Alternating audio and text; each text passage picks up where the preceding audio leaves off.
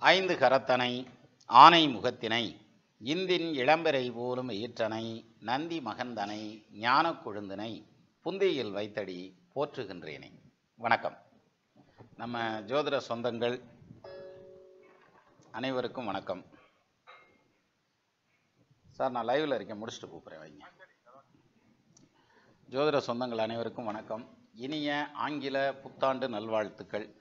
ஆங்கிலம்ங்கிறது வந்து பிரிட்டிஷ்காரனுக்கு உண்டானது. நமக்கு என்னத்துக்கு ஆங்கில புத்தாண்டு? நம்ம வந்து தமிழ் புத்தாண்டோடையே இருந்துக்கலாம் அப்படிங்கிற மாதிரி ஒரு ஆர்கியூமெண்ட்டுக்காக பேசுகிறதெல்லாம் உண்டு. இப்படி பேசுனா நம்ம வாட்டுக்கு பேசிட்டே இருக்க வேண்டியதான் ஆனால் அதில் ஒன்றும் விடிய போகிறதில்ல என்ன காரணம்னா எதுனாலும் ஒரு டேட்டா பெருத்து ஒரு லெட்டர் எழுதுறது அந்த மாதிரியான விஷயங்கள்லாம் பண்ணுறது எல்லாமே நம்ம இங்கிலீஷில் தான் போடுறோம். என்னமோ காணா ஊனா ரூனான்னு ஓடுற மாதிரி நாங்கள் தமிழ் புத்தாண்டு தான் கொண்டாடுவோம். அப்படின்னு அப்படி நிற்கிற ஆள்களும் உண்டு. ஒன்று முழுசாக இந்த பக்கம் நிற்கணும் இல்லை முழுசாக அந்த பக்கம் நிற்கணும் இந்த ரெண்டுக்கு நடுவில் நிற்கிறது ரெண்டும் கட்டான்னு வாங்கல அந்த மாதிரி நிற்கிறது அது மாதிரியான விஷயங்கள் உண்டு. அதனால் ஆங்கில புத்தாண்டுங்கிறது எல்லாரும் கொண்டாடலாம் தப்பு இல்லை. இன்னைக்கு வந்து எல்லாம் உலகம் பூரா கொண்டாடக்கூடிய ஒரு விஷயம். அதனால் இந்த புத்தாண்டில் வந்து நம்ம நிறையா வந்து முயற்சியெல்லாம் எடுப்போம். என்ன முயற்சி எடுப்போம் தெரியுங்களா? இன்று முதல் நான் வந்து சாப்பாட்டில் இப்படி கண்ட்ரோலாக இருப்பேன். அப்புறம் வந்து வாக்கிங் போவேன். அப்புறம் வந்து சிகரெட்டை விட்டு விடுவேன் அல்லது தண்ணி அடிப்பதை விட்டு விடுவேன் இப்படிங்கிற மாதிரியான நிறையா உறுதிமொழிகள்லாம் எடுப்பாங்க. அப்புறம் திருப்பி அடுத்த வருஷமும் அதே மாதிரி உறுதிமொழிலாம் எடுப்பாங்க. இப்படி வருஷ வருஷம் உறுதிமொழி எடுத்துக்கிட்டே இருப்போம். அதில் வந்து நிறையா மறுபடியும் ஏன்னா நம்ம இதோட நிறுத்திட்டோம்னா அடுத்த வருஷம் உறுதிமொழி எடுக்கிறதுக்கு ஒரு மேட்ரு வேணும்ல. அதனால் அதுக்காக வச்சுக்கிறதுங்கிறதெல்லாம் உண்டு. இப்படி மொத்தத்தில் புத்தாண்டு ரொம்ப ஜாலியாக போகும். அதுவும் சின்ன வயசாக இருக்கிறப்ப புத்தாண்டு கொண்டாடுறதுங்கிறது இன்னும் இனிமையாக இருக்கும். எல்லாத்தையும் போய் ஹாப்பி நீ யார்? ஹாப்பி நீன்னு கை கொடுக்கறது. பஸ்ஸெல்லாம் நிப்பாட்டி ஏறி உள்ளே உட்காந்துருக்கவங்களுக்கெல்லாம் கை கொடுக்கறது. எல்லாம் இப்போ ஓரளவு கண்ட்ரோல் ஆகிடுச்சு ஸோ அந்த வகையில் வந்து புத்தாண்டு வந்து நம்ம கொண்டாடலாம் தப்பு இல்லை கார்த்திக் ஜெயராஜன் ஒரு நண்பர் வந்து நூறுரூவா பணம் கட்டியிருக்கீங்க. ரொம்ப நன்றி. ஆனால் வந்து இதை வந்து பலன் சொல்கிறதுக்காக நான் யூஸ் பண்ணுறதில்ல நம்ம வந்து புத்தாண்டு பலன்கள் வந்து பொதுவான பலன்கள் எப்படி இருக்கும் அப்படிங்கிறதுக்காக போகிறோம் நீங்கள் கொடுத்த காசு நிச்சயமாக நல்ல வழியில் செலவாகும். கவலைப்பட வேண்டாம். சரி இப்போ அடுத்தது சண்டே லைவில் தான் சார் அந்த ஜாதகத்துக்கான பதில் சொல்கிறேன் இப்போ அடுத்தது வந்து இந்த புது வருஷம். புது வருஷம் பிறக்குது புது வருஷம் பிறக்குது அப்படின்னு. ரெண்டாயிரத்தி இருபத்தி மூணு நிறையவே சுற்றுல விட்டுருச்சு. இல்லை நம்ம கொரோனா டைமில் ஒரு தடவை சுற்றுல விட்டுச்சுல்ல அது மாதிரி இது வந்து நிறையவே சுற்றுல விட்டுருச்சு ரெண்டாயிரத்தி இருபத்தி மூணு. ஆனால் இருபத்தி நாலு அப்படி இல்லை. நிச்சயமாக நல்லாயிருக்கும் ரெண்டாயிரத்தி இருபத்தி நாலில் டூஸ் அண்ட் டோன்ட்ஸ் அதாவது என்ன செய்யலாம் என்ன செய்யக்கூடாது அப்படிங்கிறத பார்ப்போம். என்னென்னா இந்த சனி பயிற்சி வந்துச்சு. அடுத்து குரு பயிற்சி வரப்போகுது. அதுக்கு முன்னாடி ராகுகேது பயிற்சி வந்தது. இதில் ஒவ்வொரு தடவையும் இதில் இப்படி இருக்கும் அதில் அப்படி இருக்கும். இதில் நிறையா சம்பாதிப்பீங்க. நீங்கள் எச்சரிக்கை தேவை அடுத்து வந்து நூறு வருஷம் கழித்து தான் இந்த பிரச்சனை வருது அப்படின்னு நிறையா வந்து ஜோதிடத்தில் எதிர்பார்ப்புகள் இருந்தது. அந்த எதிர்பார்ப்புகள் எல்லாமே வந்து பார்த்தீங்கன்னாக்க கோடியில் சம்பாதிப்பீங்க லட்சத்தில் சம்பாதிப்பீங்கிற மாதிரியான எதிர்பார்ப்புகள் இருந்தது. அந்த எதிர்பார்ப்புகள் எல்லாமே லட்சத்துலேயும் கோடியிலையும் எல்லாரும் சம்பாரிச்சிட்டாங்களான்னா இல்லை சம்பாதிக்க முடியாது. ஒரு சிலரால் முடியும் ஒரு சிலரால் முடியாது. அதே இது ரெண்டாயிரத்தி இருபத்தி மூணுங்கிறது மிகப்பெரிய அளவில் ட்ராஜடி ஏதாவது நடந்திருக்கா அப்படின்னா அப்படிலாம் ஒன்றும் கிடையாது. வாழ்க்கை எப்பவும் போல் ஸ்மூத்தாக போயிட்டுருக்கு நமக்கு கேர கேலண்டர் மாறிட்டு இருக்குது இல்லையா? அது என்ன சுமூத்தான்னு சொல்லிட்டேன். நான் எப்படி கஷ்டப்படுறேன் தெரியுமா? அப்படின்னாக்க ரெண்டாயிரத்தி இருபத்தி ரெண்டுலேருந்தே கஷ்டப்பட்டேன். இருபத்தி மூணுலேருந்தே கஷ்டப்பட்டேன். அவ்வளோதான். போன வருஷம் மாதிரி தானே இந்த வருஷம் இருந்தது அப்படின்ற மாதிரியான ஒரு பாயிண்ட்டு இப்போது ஒவ்வொரு முறையும் அந்த பயிற்சி அப்படின்னு வரையில் இந்த ஒரு ஆர்வம் ஒரு கியூரியாசிட்டி எப்படி? இதில் நல்லது நடந்துராதா? அதில் நல்லது நடந்துராதா? அது நல்லா இருக்காதா? இது நல்லா இருக்காதா? அப்படிங்கிற மாதிரியான எதிர்பார்ப்புகள் நமக்கு ரொம்ப ஜாஸ்தி. ஏதாவது ஒரு விதத்தில் நான் லட்சாதிபதியானால் நான் கோடீஸ்வரன் ஆனால் அப்படின்ற மாதிரியான பாயிண்டில் போய் நிற்கிறோம் இல்லையா? அதான் காரணம். முதல்ல சார் ஒரு குரு பயிற்சியாலேயோ ஒரு சனி பயிற்சியாலோ லட்சாதிபதியாக கோடீஸ்வரனா ஆயிட முடியாது. ஆனால் ஒரு ஜாதகத்தால் அவங்க லட்சாதிபதியாக கோடீஸ்வரனா ஆவாங்களாங்கிற ரிப்போர்ட்டை நம்ம படிக்க முடியும். அவ்வளோதான் மற்றபடி ஜாதகம் பிரமாதமாக எனக்கு அமைந்ததால் நான் ஜெயித்து விட்டேன் அப்படின்னு சொன்னாக்க பத்தலைன்னு அர்த்தம் மேலே காலின்னு அர்த்தம். சாதகம் சிறப்பாக அமைந்ததனால் அவர் ஜெயிக்கவில்லை. அவருடைய வாழ்க்கை சிறப்பாக அமையுங்கிற ரிப்போர்ட்டை ஜாதகம் நமக்கு காமிக்குது. அவ்வளோதான் வித்தியாசம் ரெண்டுக்கும். ஸோ வந்து ஜாதகத்தினால தான் அப்படிங்கிறது. அதனால தான் இந்த த- உன் பிள்ளைய கொண்டு போய் எங்கிட்டாவது விட்டு வந்துரு. இல்லாட்டி பிரிஞ்சிருக்கணும் ஏன் மாமன் வீட்டில் இருக்கணும் தாத்தா வீட்டில் இருக்கணும்லாம் சொல்கிறாங்க அதெல்லாம் கிடையாது. எங்கே இருந்தாலும் நம்ம கர்மா நம்மளோட தான் இருக்கும். ஒரு சில டைமில் வேறு சந்தர்ப்பங்கள் வேறு வழி இல்லாமல் பிரிஞ்சிருக்க வேண்டிய சூழல்கள் ஏற்படும். அது மாதிரி வேணால் பிரிஞ்சிருக்கலாம். பர்பஸாக கொண்டு போய் பிரித்து விட்டா நல்லா இருக்குன்ற மாதிரியான பாயிண்டில் கொண்டு போகக்கூடாது. இவங்க பிரிஞ்சிருப்பாங்கங்கிற பாயிண்ட்டை நமக்கு எடுத்து சொல்லுது. அப்படித்தான் வச்சுக்கறணும். இப்போ நம்ம நண்பர்கள் நிறைய பேர் புத்தாண்டு வாழ்த்துக்கள்லாம் சொல்லியிருக்காங்க. எல்லாருக்கும் அனைவருக்கும் இனிய புத்தாண்டு நல்வாழ்த்துக்கள். இந்த புத்தாண்டு உங்களுடைய மனசு நம்மளுடைய மனசில் இருக்கக்கூடிய எல்லா எதிர்பார்ப்புகளும் நிறைவாகி வாழ்க்கையை வந்து வசதியாகவும் எளிமையாகவும் ஆரோக்கியமானதாகவும் சந்தோஷமானதாகவும் மாற்றணும் அப்படிங்கிறது தான் நம்மளுடைய வேண்டுதலாக இருக்கும். இதில் இந்த சந்தோஷம் அப்படிங்கிறது வந்து எங்கேயும் தேட வேண்டாம். எங்கேயும் கிடையாது. சந்தோஷம் காக்கிலோ கடை கொடுன்னு வந்து கடையில் வாங்குற மாதிரி இருந்ததுன்னா ஆளாளுக்கு வாங்கிட்டு போயிடுவாங்க கடையவே காலி பண்ணிடுவாங்க அப்போது சந்தோஷத்தை வந்து வெளியிலேருந்து வாங்க முடியாது. ம- மனசுக்கு உள்ளேருந்து வரணும் அப்படின்னு சொல்லுவாங்க. அதை பற்றி நிறைய அறிஞர்கள்லாம் பேசியிருக்காங்க. ரைட் அது இருக்கட்டும். அந்த வகையில் மனமது செம்மையானால் மந்திரம் ஜெபி கணச்சு கோயிலுக்கு போய் சாமியும் கும்பிட வேண்டியதில்லை நீங்கள் இது மனமது செம்மையானால். அப்போது நம்ம மனசை வந்து பிளைனாக வச்சுக்கிட்டா நிர்மலமாக வச்சுக்கிட்டோம்னாலே போதுமானது. நமக்கு என்னாலும் சந்தோஷம்தான். அந்த வகையில் வந்து சிரிச்சுக்கிட்டே போயிடலாம் வாழ்க்கையை ரொம்ப எளிமையாக கொண்டுட்டு போயிடலாம் சரி. இப்போ சங்கரா கோபி வார்த்தை சொல்லில் வீரரடி வார்த்தை சொல்லில் வீரரடியா? அப்படியா? சரி சரி. இப்போ விரைந்து தொழில் கேட்கும் ஞாலம் நிறந்தனிது சொல்லுதர் வல்லார் பெரின் அப்படின்னு வள்ளுவர் சொல்லியிருக்காரு. அவர் கூட ஒருவேளை விவரம் தெரியாமல் சொல்லியிருப்பாருன்னு நினைக்கிறேன். இல்லை மேபி இருக்கலாம். நீங்கள் சொல்கிறது கரெக்டு தான். அப்போ அடுத்ததுக்கு போவோம். இப்போ இந்த ராசி பனிரெண்டு இல்லையா? மேஷத்திலிருந்து மீனம் வரைக்கும் பனிரெண்டு ராசிகள். அப்பா இப்பயாவது வந்தானே. ராசி பலன் சொல்கிறதுக்கு அப்படின்னு நினைப்பாங்க சிலர். இருந்தாலும் எடுத்துக்கலாம். இப்போ முதல்ல வந்து நம்ம எடுத்துக்கிற ராசி வந்து மீன ராசி எடுத்துக்கணும் இல்லையா? முதல்ல ராசியை தூக்கி வைப்போம். இதை வந்து ஜூம் மீட்டிங் அரேஞ்ச் பண்ணலாம்னு நினச்சேன். அதுக்கு டைமே அமையலை. டைட்டாகவே இருந்ததுனால. ரைட் இப்போ இதில் பாருங்கள் இன்றைக்கி இருக்க கிரக நிலை அப்படிங்கிறது குரு தான் வந்து மேஷத்தில் இருக்கார். அவர் மாறப்போகிறார் இங்கே வச்சுக்கிருவோம். மேஷத்தில் இருக்கார். மற்றபடி வந்து இந்த கிரக நிலையில் தான் இருக்குது. இதுதான் வருட கிரகங்கள். சனி குரு ராகு கேது. இதை வச்சு தான் வருட பலன் எடுத்துக்கிறேன் சரி இப்போது மீன ராசிக்கு எடுத்துக்குவோம். வருட பலன். ஏன்னா எல்லாரும் எடுத்ததுமே மேச ராசிக்கு தான் சொல்லிடுவாங்க இல்லையா? நம்ம கடைசியாக பன்னெண்டாவது ராசியிலேருந்து ஸ்டார்ட் பண்ணுவோம் கொஞ்சம் ஜாலியாகவே போவோம் இல்லையா? ஏன்னா இன்னைக்கு வக்கரமான கிரகம் தானே பன்னெண்டாவது ராசியில் உட்காந்துருக்கு மீனத்தில். அதனால் அங்கேருந்தே போகலாமே அப்போது மீன ராசிக்கு இந்த ரெண்டாயிரத்தி இருபத்தி நாலு என்ன மாதிரி இருக்கும்? அப்படின்னா நிச்சயமாக நல்லாயிருக்கும் எந்த விதத்தில் நல்லா இருக்கும்? ஏப்பா ஏ ஏழரை சனி நடக்குதுன்றாங்க நீ வாட்டுக்கு நல்லா இருக்கும்னு இருக்க அப்படின்ற மாதிரி ஒரு குரல் வந்து ஒலிக்கும் ஒரு ஓரத்துலேருந்து. இல்லை ஏழரை சனி ஆரம்பிச்சிருக்குன்றாங்க நாங்களே நடுங்கி போய் கிடந்துக்கிருக்கோம் இதில் வந்து நீ வேற இதில் நல்லா இருக்கும்னு சொல்லிக்கிருக்க அப்படின்னாக்கா அப்படிலாம் கிடையாது. ஏழரை சனி ஆரம்பிச்சிருக்குது இல்லைன்னு இல்லை. இதில் வந்து பார்த்தீங்கன்னா நீங்கள் உட்காந்து வீடியோ கேட்குறீங்க ஜோசியம் பார்க்குறீங்க ஏழரை சனி வருதாமில்லன்னு சொல்கிறீங்க அப்படின்னாலே உங்களுக்கு அது ரெண்டாவது சுத்துன்னு அர்த்தம். அப்போது almost more than eighty or ninety percent of the வியூவர்ஸுக்கு வந்து ரெண்டாவது சுத்தில் தான் இருக்கும்.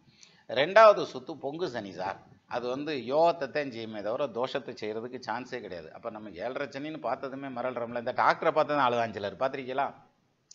ஆஸ்பத்திரிக்குள்ளே தூக்கிட்டு போகும்போதே சும்மா ஏதாவது கேட்குறதுக்கு ஆஸ்பத்திரிக்குள்ளே போனால் கூட அழுதான். ஏன்டா அழுகிற? நான் ஊசி ஓடுவார் டாக்டர் அப்படின்னு. அப்படி. அப்போது அந்த மாதிரி இந்த ஏழரை சனி அப்படின்னதுமே உடனே மிரள்றது. அதெல்லாம் ஒன்றும் மிரள வேண்டியதில்லை. ரெண்டாவது சுற்று ஏழரை ஆரம்பிக்குது. சார் மீன ராசி ரெண்டாவது சுற்று ஏழரை ஆரம்பிச்சிருக்க எல்லாத்துக்கும் யோகம் சார். தொழிலில் செட்டில் ஆயிடுவீங்க ப்ராப்பர்ட்டி வாங்குறதுக்கான அமைப்பு உண்டு. வெளியூர் போகிறதுக்கான பிளான் பண்ணியிருந்தீங்கன்னா வெளியூர் போகிறதுக்கான அம்சம்லாம் வந்துடும் ஃபைனான்ஷியல் டெவலப்மெண்ட் நல்லாயிருக்கும் கடன் கட்டுவீங்க. நல்லா இருக்கே இது அப்படின்ற மாதிரி இருக்குல்ல? கடன் கட்டுவீங்க. அதே மாதிரி உடல் ஆரோக்கியம் நல்லாயிருக்கும் அப்போ ராகு வந்து ராசியில் உட்காந்துருக்காரு அது ஒன்றும் தப்பு இல்லையா? ஒன்றும் தப்பு இல்லை. அம்மாவுடைய ஹெல்த்தில் லேசாக தொல்லை பண்ணுறதுக்கு ஒரு வாய்ப்பு இருக்குது. அல்லது மாமியாருடைய ஹெல்ப்பில் ஹெல்த்தில் ஆ எங்கே இன்னொரு தடவை சொல்லு நல்லா சொல்லு கேட்போம் அப்படின்ற மாதிரி இருக்கும். மாமியாருடைய ஹெல்த்து இல்லாட்டி அம்மாவுடைய ஹெல்த்தில் கொஞ்சம் டிஸ்டர்ப் பண்ணுறதுக்கான வாய்ப்பு இருக்குது. மற்றபடி வேறு ஒன்றும் ப்ராப்ளம் கிடையாது. அப்போது இந்த ராகு உட்காந்துருக்கிறதுலையும் பிரச்சனை இல்லை. கேது உட்காந்துருக்கிறதுலையும் பிரச்சனை இல்லை. கேது ஏழாம் பாவத்தில் உட்காந்துருக்காரு இல்லையா? அதுலேயும் ப்ராப்ளம் கிடையாது. ஏய் சத்தம். கேது ஏழில் இருக்கிறதும் பிரச்சனை இல்லை. அடுத்தது மூ ராசிக்கு மூணாம் பாவத்தில் குரு போக போகிறார் குரு மூணுக்கு போகிறது ஏதாவது பாதிக்குமா? ஒன்றும் பாதிக்காது. அதுக்கும் பயப்பட வேண்டியதில்லை. என்ன காரணம்? பத்துக்கு அதிபதி மூணில் போய் நிற்கிறதுங்கிறது வெளி ஊர் வெளிநாட்டில் தொழிலில் இருக்கவங்க தொழில் பண்ணிட்டு இருக்கவங்க உத்தியோகத்தில் இருக்கவங்களுக்கெல்லாம் நல்லா இருக்கும். சரியா? அப்போ திருமண காலம் அப்படிங்கிறது இப்போ வந்து ராகு கேது வேற வந்துருச்சுன்றாங்க ஏழரை சனி வேற வந்துருச்சுன்றாங்க. இப்போ கல்யாணம் அப்படின்னா ரெண்டுக்கு ஒன்றும் பெரிய வித்தியாசம் இல்லை. தாராளமாக கல்யாணம் நடக்கும். அதெல்லாம் பண்ணிக்கலாம் கல்யாணம். இது ஏழரை சனிக்கும் கல்யாணத்துக்கு வித்தியாசம் இல்லையா? அப்படின்னு ஆரம்பிச்சிடக்கூடாது. அப்படி இல்லை. இப்போ குரு ஸ்ட்ராங்காக இருக்கார். லக்னத்துக்கு ரெண்டில் குரு இருக்கார். ராசிக்கு ரெண்டில் குரு இருக்கார் இல்லையா? ஈவன் அவர் மூணுக்கு போனாலும் கல்யாணம் நடக்கும் சார். மூணாம் இடத்துல குரு இருந்தாலும் கல்யாணம் நடக்கும். இப்போ ஒரு ஆணுடைய ஜாதகம்னு வச்சுங்களேன் உங்கள் ஜாதகத்தின்படி ரிஷபத்துலேயோ கன்னிலேயோ அல்லது மகரத்துலேயோ வந்து சுக்கரன் இருக்காருன்னு வச்சுக்கோங்க. ஒரு எடுத்துக்காட்டுக்கு சொல்றேன். சுக்கரன் இருக்காருன்னு வச்சுக்கோங்க. இந்த குரு பயிற்சி ஆனதுமே கிட்ட- கிட்டத்தட்ட மே மாதத்துக்கு அப்புறம் கல்யாணத்துக்கான டைம் கூடிரும். இல்லை ராகுக்கு எது இருக்குது நாங்கள் இருண்டு போதியா? ஆனால் கல்யாணம் கூடுறதுக்கான அமைப்பு இருக்குது தசாபுத்தி மட்டும் கொஞ்சம் சப்போர்ட் பண்ணால் போதும் ஜம்முன்னு செட் ஆயிரும் கல்யாணம். சரியா? அது மாதிரியான அமைப்பு. அப்போது ஃபைனான்ஷியலாக நீங்கள் செட்டில் ஆகிறது அப்படிங்கிற மாதிரியான அமைப்பில் முன்னுக்கு வருவீங்கிற மாதிரியான அம்சம் உண்டு. அதே மாதிரி பொருளாதாரத்தில் நல்ல ஒரு பொசிஷனுக்கு வர்றதுங்கிறது இல்லாமல் கல்யாண காலகட்டம்ங்கிறது கைகூடி வரும்ன்ற மாதிரியான அமைப்பு இருக்குது சரி. அப்போ மீன ராசிக்காரங்க வேறு எதில் கவனமாக இருக்க வேண்டிய விஷயங்கள் அப்படின்னு எடுத்துக்கிட்டால் கிட்டத்தட்ட மே மாதத்துக்கு அப்புறம் வரக்கூடிய பீரியடில் இன்வெஸ்ட்மெண்ட் சைடில் கவனமாக இருங்க போகும் அது எது இன்வெஸ்ட்மெண்ட் சைட்லன்னா இப்போ வந்து ஷேர் மார்க்கெட்டில் இன்வெஸ்ட் பண்ணுறேன் கோல்டு பாண்டில் இன்வெஸ்ட் பண்ண போகிறேன் அல்லது வந்து நான் சொத்து பத்தின் பேரில் கொண்டு போய் இன்வெஸ்ட் பண்ண போகிறேன் அப்படிங்கிற மாதிரியான பாயிண்டில் இருக்கவங்க அதில் மட்டும் தெளிவாக பார்த்து பண்ணுங்கள் மற்றபடி வேறு ஒன்றும் பார்த்து பண்ணுங்கன்னா ஏ சூதானமியா பார்த்து பண்ணணுமியா இல்லாட்டி போயிருமியா பண்ண அப்படின்னு அர்த்தம் கிடையாது. ஒருத்தருக்கு வந்து பாண்டில் போட்டால் அந்த பணம் சேஃபாக இருக்கும். இன்னொருத்தருக்கு அதே இன்வெஸ்ட்மெண்ட்டை கொண்டு போய் ரியல் எஸ்டேட்டில் போட்டால் தான் சேஃபாக இருக்கும். இன்னொருத்தருக்கு அதே இன்வெஸ்ட்மெண்ட்டை கொண்டு போய் கோ கோல்டு வாங்கி வச்சா தான் சரியாக இருக்கும். அப்போ உங்களுக்கான சரியான இன்வெஸ்ட்மெண்ட் என்ன அப்படிங்கிறத பாருங்கள் சிலருடைய வாழ்க்கையில் பாருங்கள் ரெண்டு வண்டி மூணு வண்டி வச்சுருப்பாங்க. ஆனால் வீடு இருக்காது. சார் ஜோதிடத்தில் எல்லாத்துக்கும் தெரியும். நாலாம் இடம் தான் வீடு இல்லையா? நாலாம் இடம் வீடு நாலாம் இடம் வண்டி நாலாம் இடம் வாகனம். அப்போ அவர்கிட்ட நாலு வாகனம் இருக்கும். ஆனால் வீடு இருக்காது. ஒருத்தர்ட்ட ரெண்டு மூணு வீடு இருக்கும். ஆனால் வண்டி வாகனத்தில் போக மாட்டார். எங்கே போனாலும் கால்நடையாகவே போய்க்கிருப்பார் அப்போ ஏன் அவருக்கு நாலாம் இடம் இந்த இந்த நாலாம் இடம் ஏன் வேலை செய்யுது இந்த நாலாம் இடம் ஏன் வேலை செய்யலை? நாலாம் இடத்துக்குள்ளேயே ரெண்டு பலன் மாறி மாறி நடக்குது பாருங்க. அப்போது ஜாதகத்தை பொறுத்து அந்த பலன்கள் மாறுபடும். அப்போ நீங்கள் இன்வெஸ்ட்மெண்ட் சைடில் கவனமாக இருக்கணும்னா மாறுதலையான இன்வெஸ்ட்மெண்ட்ஸ் எதுவும் கொண்டு போய் வச்சிடாதீங்க அப்படின்றது தான் இதில் முக்கியமாக சொல்ல வேண்டியது. மற்றபடி வேறு ஒன்றும் தோஷம் கிடையாது.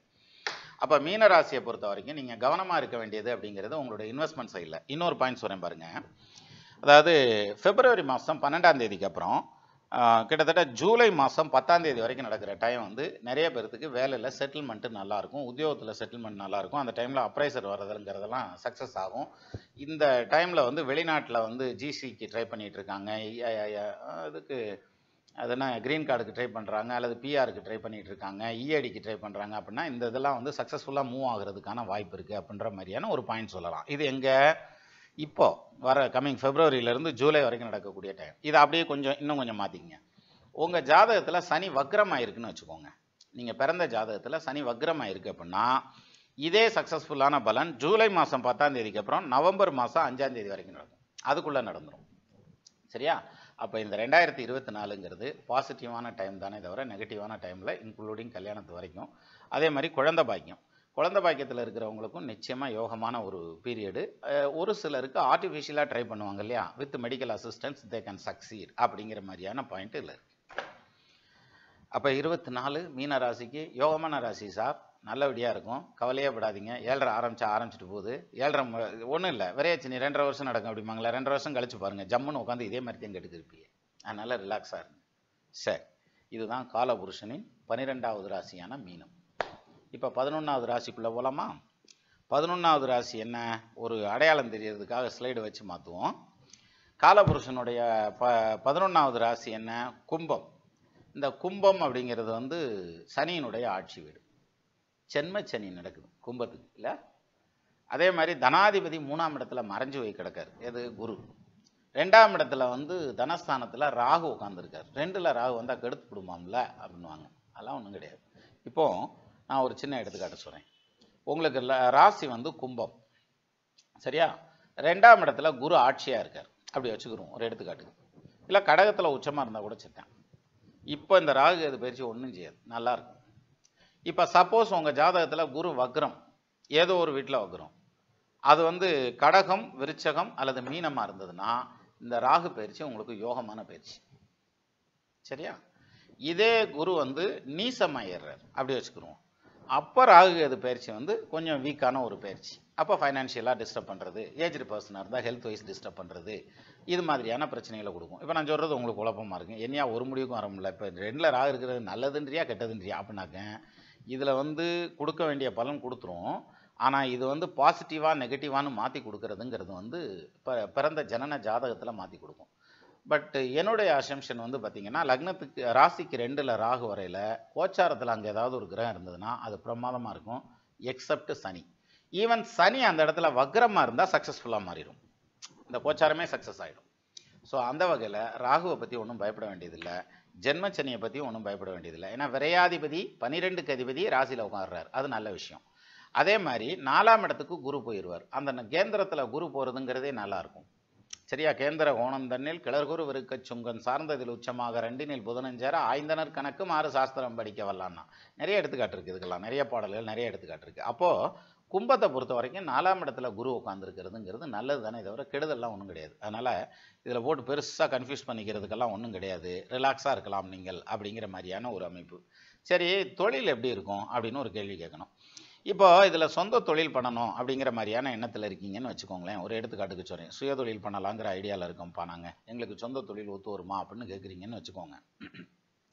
நிச்சயமாக ஒத்து வரும். நிறைய பேர் சொந்த தொழில் ஸ்டார்ட் பண்ணுறதுக்கான அமைப்பு இருக்குது. பிப்ரவரி மாதத்துக்கு மேலே ஜூலை மாதம் வரைக்கும். அப்போ உங்கள் ஜனன ஜாதகத்தில் சனி வக்ரமாக இருந்ததுன்னா ஜூன் மாதத்துலேருந்து கிட்டத்தட்ட அக்டோபர் மாதம் முடிகிறதுக்குள்ளே உங்களுக்கு தொழிலில் சக்ஸஸ் வரும். நல்லா கவனிங்க. இப்போ நீங்கள் ஜாப்பில் இருந்தீங்கன்னு வச்சுக்கோங்களேன் ஜாப் சேஞ்ச் அப்படிங்கிறத எதிர்பார்த்தீங்கன்னா if it is a positive change உங்களுக்கு வக்ரம் ஆகி இருந்ததுன்னா ஜூலைலேருந்து அக்டோபர் வரைக்கும் நடக்கிற பீரியட் இருக்குது பாருங்கள் அந்த பீரியடில் வந்து ஜாப் சேஞ்ச் இருக்கும்.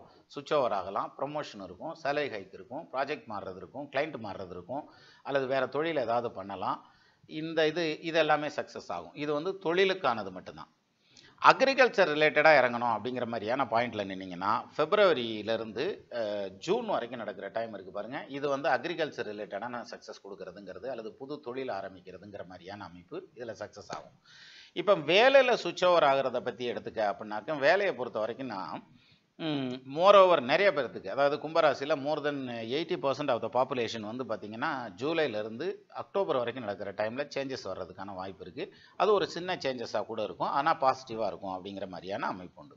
ஸோ அந்த வகையில் these are the important things சரி இப்போ இந்த மேரேஜ் பெர்ஸ்பெக்டிவ் எப்படி இருக்கும் அப்படின்னா மேரேஜை பொறுத்த வரைக்கும் நான் முதல்ல சொன்ன மாதிரி குரு வந்து வக்ரமாகி மீனம் கடகம் இந்த பக்கம் விருச்சகத்தில் உட்காந்துருந்தால் அவங்களுக்கு இப்போ கல்யாணத்துக்கான டைம் ஈவன் குருதசை நடந்தாலும் ராகுதசை நடந்தாலுமே.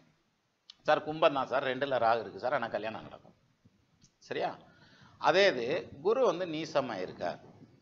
ஆறு எட்டு பன்னெண்டில் மறைஞ்சிருக்கார் அப்படின்னு வச்சுக்கோங்களேன். அப்போது கண்டிப்பாக வந்து கல்யாணம் டிலே ஆகும். டிலே ஆனால் எவ்வளோ நாள் ஆகும்? அதிகபட்சம் ஒரு வருஷம் ஆகும் சார். ரெண்டாயிரத்தி இருபத்தி நாலு வந்து விட்டுடுங்க. இருபத்தி அஞ்சில் கல்யாணம் ஆகிறதுக்கான அமைப்பு அதனால் ஆனால் இது வந்து மேரேஜுங்கிறது வந்து அரேஞ்சு மேரேஜ் இந்த மாதிரியான இதில் போகிறதுக்கு இதே இது லவ் அஃபேர் அப்படிங்கிறது இப்போ நிறைய லவ்வில் மாற்றுறதுக்கு வாய்ப்பு இருக்குது யாராவது வந்து உங்களுக்கு ப்ரப்போஸ் பண்ணுவாங்க அல்லது நீங்கள் யாருக்காவது போய் ப்ரப்போஸ் பண்ணுவீங்க அப்படின்ற மாதிரியான அமைப்பு இந்த நண்பர் கொடுத்துருக்காரு பாருங்க. சனி நீசம் டு கும்பம்.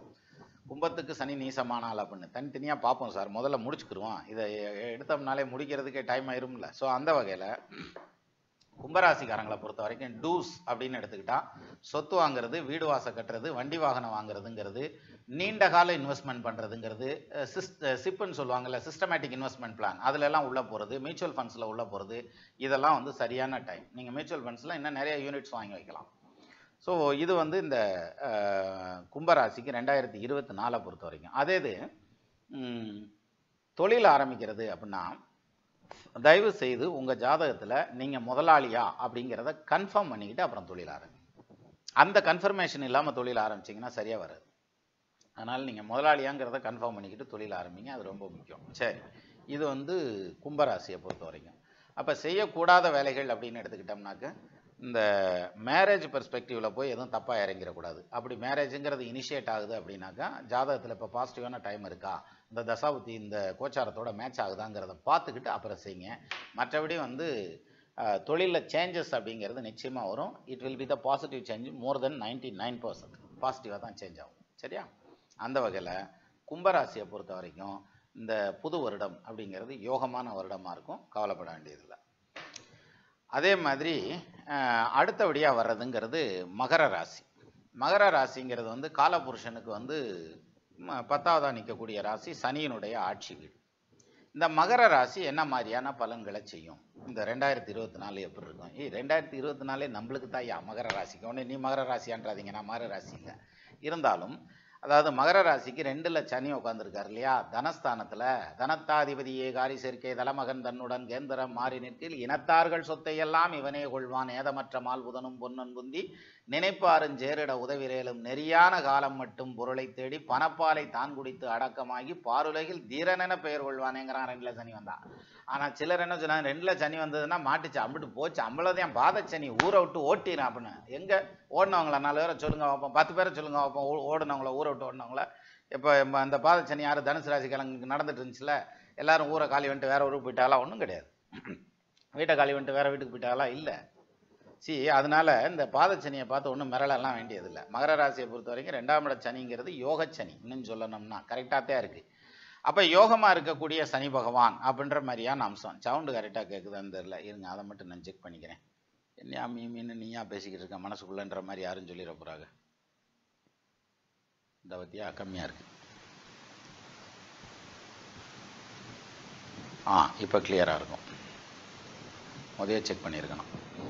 அப்போ இதில் வந்து பார்த்தீங்கன்னா சனி வந்து ரெண்டில் நிற்கிறதுங்க மூணாம் பாவத்தில் ராகும் ஒன்பதாம் பாவத்தில் கேதுவும் நிற்கிறார் இல்லையா? சார் மீனத்திலேயாவது கன்னிலையாவது உங்கள் ஜாதகத்தில் சூரியன் இருந்ததுன்னா அப்பாவுக்கு உடம்புல தொல்லை பண்ணும். சந்திரன் இருந்தால் அம்மா அம்மாவுக்கு உடம்புல தொல்லை பண்ணும் அப்படிங்கிற மாதிரியான டைம் சரியா? மற்றபடி ராகு கேதுவை பொறுத்த வரைக்கும் ஒன்றும் பிரச்சனை இல்லை. மூணா மூணு ஆறு உள்ள ராகு கேது நிற்கலாம் அடுத்தது குரு வந்து மூ நாலில் இருந்து அஞ்சுக்கு போக போகிறார் அவர் நாலில் இருந்தாலும் ஓகே தான் அஞ்சில் இருந்தாலும் ஓகே தான். ஏன்னா பன்னிரெண்டுக்கு அதிபதி கேந்திர திரிகோணங்களில் இருந்தால் யோகம்ன்றான். அப்போ கேந்திரத்தில் போயிருக்கார் அடுத்து திரிகோணத்துக்கு போக போகிறார் அப்போ ரெண்டாயிரத்தி இருபத்தி நாலு நல்லாத்தையும் இருக்கும். ஸோ பொருளாதார ரீதியாக சக்ஸஸ் பண்ணுறதுக்கு ரெண்டாயிரத்தி இருபத்தி நாலு நல்லாயிருக்கும். கடன் கட்டுறதுக்கான தசை மகர ராசியை பொறுத்த வரைக்கும் ஒரு சிலருக்கு சொத்து விற்காம இருக்குன்னுக்கிட்டு இருப்பாங்க இல்லையா? அந்த சொத்தெல்லாம் விலையாகிறதுங்கிறது புதுசாக சொத்து வாங்குறதுங்கிறது ஒரு சொத்தை இன்னொரு சொத்தாக மாற்றுறதுங்கிறது வாகனம் வாங்குறது வண்டி வாகனம் வாங்குறது இது மாதிரியான வேலைகள் நல்லபடியாக நடக்கும். அது மட்டும் இல்லாமல் திருமண காரியங்கள் கைகூடி வரும் அப்படின்ற மாதிரியான அம்சம் ரெண்டாயிரத்தி இருபத்தி நாலுக்கு. மகர ராசியை பொறுத்த வரைக்கும் கல்யாணம் கைகூடும் சார் கல்யாணத்துக்கு ஒத்துக்காமல் இருந்தாங்கன்னா கூட அது பொண்ணு வீடு பையன் வீடு அல்லது ஆமாங்க நாங்களும் லவ் பண்ணுறோம் கல்யாணத்துக்கு ஒத்துக்க மாட்டேன் பொண்ணோட புருஷன் விட மாட்டேன்னு ஆரம்பிச்சிடாதீங்க அப்படி இல்லை ஸோ நியாயமான லவ்வாக இருந்ததுன்னா அதெல்லாம் ஒத்து போகும் அப்படின்ற மாதிரியான அம்சம்.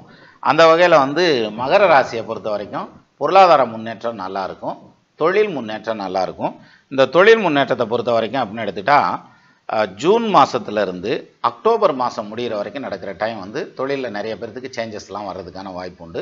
அதுவும் பாசிட்டிவான சேஞ்சா அல்லது நெகட்டிவான சேஞ்சாங்கிறது உங்களுடைய ஜாதக ரீதியாகவும் எடுத்துக்கணும். பட் இருந்தாலும் ஒரு சேஞ்ச் வரும். நம்ம பாசிட்டிவ்னே எடுத்துக்கிருவோமே அதை.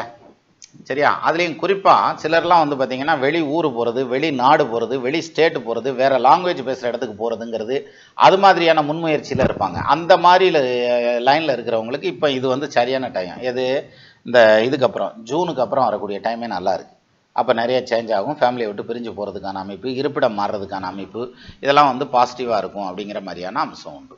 ஸோ அந்த வகையில் மகர ராசியை பொறுத்த வரைக்கும் யோகமான ஒரு டைம் தான் நடந்துகிட்ருக்கே தவிர தோஷமான டைமில் ரெண்டாயிரத்தி இருபத்தி நாலு உங்களுக்கு பல வெற்றிகளையும் சிறப்புகளையும் கொடுக்கும் எஸ்பெஷலி ஃபைனான்ஸ் சரியா? அதே மாதிரி கரியரில் சக்ஸஸ் ஆயிருவீங்க. கரியர் சக்ஸஸ் ஆனால் தானே ஃபைனான்ஸ் வரும். அதே மாதிரி கல்யாணத்துக்காக வெயிட் பண்ணிட்டு இருக்கவங்களுக்கு கல்யாணம் நிறைய பேர்த்துக்கு கைகூடி வரும். சிலருக்கு ஐம்பது வயசானாலும் கல்யாணம் வராது. இப்போ கூட கமெண்ட்டில் ஒருத்தர் ஓடிருந்தார். ஏ உனக்கு நல்ல எடுத்துக்காட்டு ஜாதகம். ஏன் ஐம்பது வயசாகுது எனக்கு? இன்னும் கல்யாணம் ஆகலை. சுக்கர தசை கல்யாணம் நடக்கலை. ஏன்? அப்படின்னு கேட்டு ஒரு இருபது கொஷின் மார்க் வேற போட்டு வச்சிருந்தார்.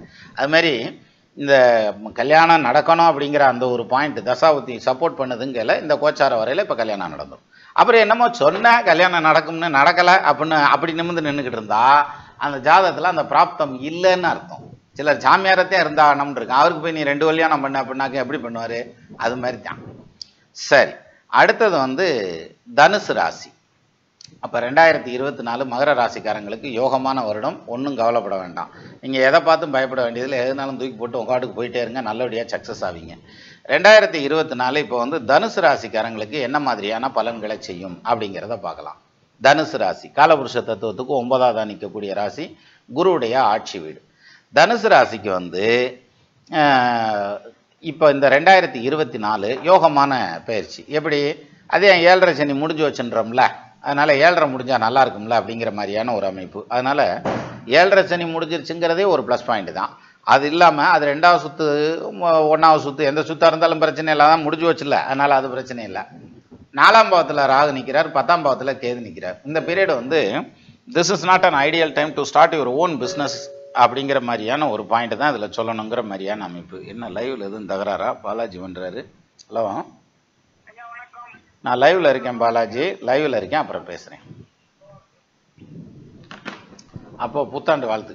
வேற ஒன்றும் இல்லை. அப்போது இந்த இதில் வந்து வந்து பார்த்திங்கன்னா தனுசில் வந்து பார்த்தீங்கன்னா சனி வந்து பாசிட்டிவாக உட்காந்துருக்கார் ராகு வந்து நாலில் நிற்கிறார் பத்தில் கேது நிற்கிறார் இப்போ தனுசு ராசிக்கு டோன்ட் அப்படிங்கிற இடத்துல என்ன சொல்லணும் அப்படின்னா ரியல் எஸ்டேட் பிஸ்னஸ் பண்ணுறதா இருந்ததுன்னா அதுவும் புதுசாக இறங்குறதா இருந்தால் இப்போ செட் ஆகிறது கஷ்டம். அதனால் தெளிவாக ஜாதகத்தை பார்த்துக்கிட்டு செய்யணும். இல்லாட்டினா அதை விட்டுறணும். அதே மாதிரி புது தொழில் ஆரம்பிக்கிறது அதில் ஹியூஜ் இன்வெஸ்ட்மெண்ட்டை கொண்டு போகிறதுங்கிறதெல்லாம் அவ்வளோ வலுவான டைம் இல்லை.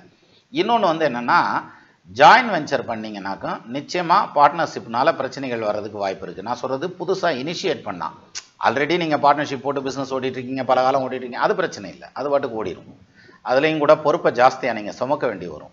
ஆனால் புதுசாக இனிஷியேட் பண்ணீங்கன்னா அதில் ப்ராப்ளம் வர்றதுக்கான வாய்ப்பு இருக்குது அதனால் beware of about your partnership business அப்படின்ற மாதிரியான ஒரு பாயிண்ட்டும் சொல்லலாம் இதில் ஆனால் உத்தியோகத்தில் இருக்கவங்களுக்கு எப்படி இருக்கும்? அது நல்லாயிருக்கும் நீங்கள் ஏதாவது இடமாற்றம் கேட்டிங்கன்னா அதெல்லாம் நடக்கும். ஃபேமிலியோடு அழைச்சிட்டு நான் வெளிநாடு போகிறேன் அப்படின்னாக்கா அது நடக்கிறதுக்கான அமைப்பு உண்டு. ஸோ இதில் எல்லாம் சக்ஸஸ் வர்றதுக்கான அம்சம் உண்டு. சரியா? அதே மாதிரி விவசாயத்தில் இருக்கிறவங்களுக்கு இதில் தனுசு ராசிக்காரங்களுக்கு விவசாயத்தில் இருக்கிறது இந்த தடவை கிராப் போடுறதுங்கிறது வந்து ரொம்ப நிதானமாக பண்ணணும். அதாவது பயிர் பண்ணுறதுங்கிறது அந்த முட்டுவெளி செலவுன்னு சொல்லுவாங்க. வயலுக்கு செலவு பண்ணக்கூடிய செலவுகள் இருக்குல்ல அது கொஞ்சம் நிதானமாக பண்ணுங்கள் அதே மாதிரி ஆடு மாடு குறைச்சி வச்சுக்கிறதுங்கிறது நல்லது. இப்போ கூட்டி வைக்கிறதுங்கிறது வந்து சரியாக வராது அப்படின்ற மாதிரியான அமைப்பு. பால் தொழில் பண்ணுறதுங்கிறது அல்லது சிக்கன் வளர்க்குறாங்க இல்லையா? கோழியெல்லாம் வளர்த்து சின்ன குஞ்சு எடுத்து கோழியை வளர்த்துங்க அந்த மாதிரி லைனில் இருக்கிறவங்களுக்கு கொஞ்சம் வைப்ரேஷன்ஸ் இருக்கும். இது எல்லாத்துக்கும் கிடையாது. தனுசு ராசியில் நாலில் நாலுக்கு அதிபதியான குரு ஆட்சியாக இருக்கார் அல்லது உச்சமாக இருக்கார் அப்படின்னாக்க நல்லாத்தையும் இருக்கும். அந்த குரு பாதிக்கப்பட்டிருந்தால் உங்களுக்கு இது வரும். ஒரு ஒரு தடவையும் நான் சொன்னேன்னா குழப்பம் வரும். அதனால தான் அந்த சேர்த்து சொல்லிட்டு இருக்கேன். ஸோ இந்த பாயிண்ட் வந்து எல்லாத்துக்கும் மனது கிடையாது. ஒரு சிலருக்கு இந்த மாதிரியான தொல்லைகள் வர்றதுக்கான வாய்ப்பு உண்டு. மற்றபடி திருமணம் போக்குவரத்து அதில் எல்லாம் ஒன்றும் பிரச்சனை இல்லை. அங்கே கை வைக்காது. அது நடக்கும். அதே மாதிரி இந்த வருடத்தோட பிற்பகுதி அப்படின்னு போகிறப்போ வந்து நிறைய பேர்த்துக்கு இடமாற்றம் இருக்கும் சார். இடமாற்றம்ங்கிறது வீடு விட்டு வீடு மாறுறது ஒர்க்கிங் பிளேஸ் மாறுறதுங்கிறது நேச்சர் ஆஃப் ஒர்க் மாறுறதுங்கிற மாதிரியான அமைப்பு. இது மாதிரி ஏதாவது ஒரு விதத்தில் ஒரு சின்ன சேஞ்ச் இருக்கும்.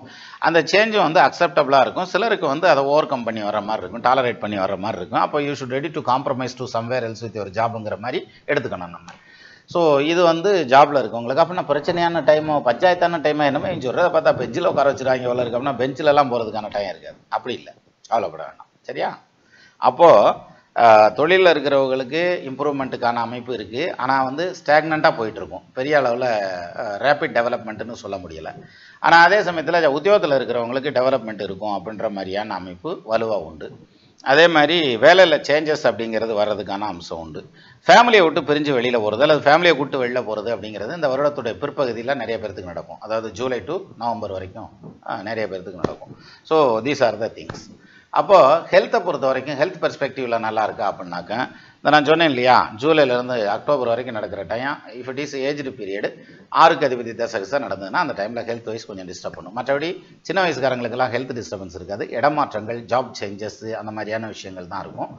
ஸோ டூஸ் அண்ட் டோன்ஸை பொறுத்த வரைக்கும் எடுத்துட்டா டூஸ் நிறையா இருக்குது டோன்ஸை பொறுத்த வரைக்கும் you should be more conscious about your job and business அதில் எஸ்பெஷலி ஜாபில் வந்து நீங்களா இனிஷியேட் பண்ணாதீங்க. இது ஜாப் சேஞ்சு அல்லது வந்து சுவிட்ச் ஓவர் ஆகிறது நீங்களாக இனிஷியேட் பண்ணாதீங்க. அதுவாக வர்றதை அக்செப்ட் பண்ணிட்டு போயிடலாம் பிரச்சனை இல்லை. சரியா? இதுதான் தனுசு ராசியை பொறுத்த வரைக்கும் மற்றபடி தனுசு ராசிக்கு ரெண்டாயிரத்தி இருபத்தி நாலு சிறப்பான ஒரு எதிர்காலத்தை கொடுக்கணும்னு சொல்லி எல்லாம் வல்ல முருகப்பெருமானா உங்களோட சேர்த்து நானும் வேண்டிக்கிறேன். எல்லா ராசிக்காரங்களுக்கு தான். நெல்லுக்கரை தண்ணீர் வாய்க்கால் வழியோடி புல்லுக்கும் புசியுமாம் தொல்லுலகில் தனுசு ராசிக்காரர் ஒரு ஒரு உளறியல் அவர் உருட்டு பாக்கி பதினோரு ராசிக்கும் சேர்த்து பெய்யும் மழை அப்படிங்கிற மாதிரி எடுத்துக்கிடலாம். ஸோ அந்த வகையில் இதான் தனுசு ராசிக்கு ரெண்டாயிரத்தி இருபத்தி நாலுக்கான பலனாக எடுத்துக்கணும். சரி. இப்போ அதுக்கு அடுத்த ராசி என்ன இருக்குது தனுசுக்கு அப்புறம் விருச்சிக ராசி. இந்த விருச்சகம் அப்படிங்கிறது காலபுருஷ தத்துவத்துக்கு எட்டாவதாக நிற்கக்கூடிய ராசி செவ்வாயினுடைய ஆட்சி வீடு. அப்போ விருச்சக ராசிக்கு என்ன மாதிரியான பலன்களை வந்து ரெண்டாயிரத்தி இருபத்தி நாலு கொடுக்கும்?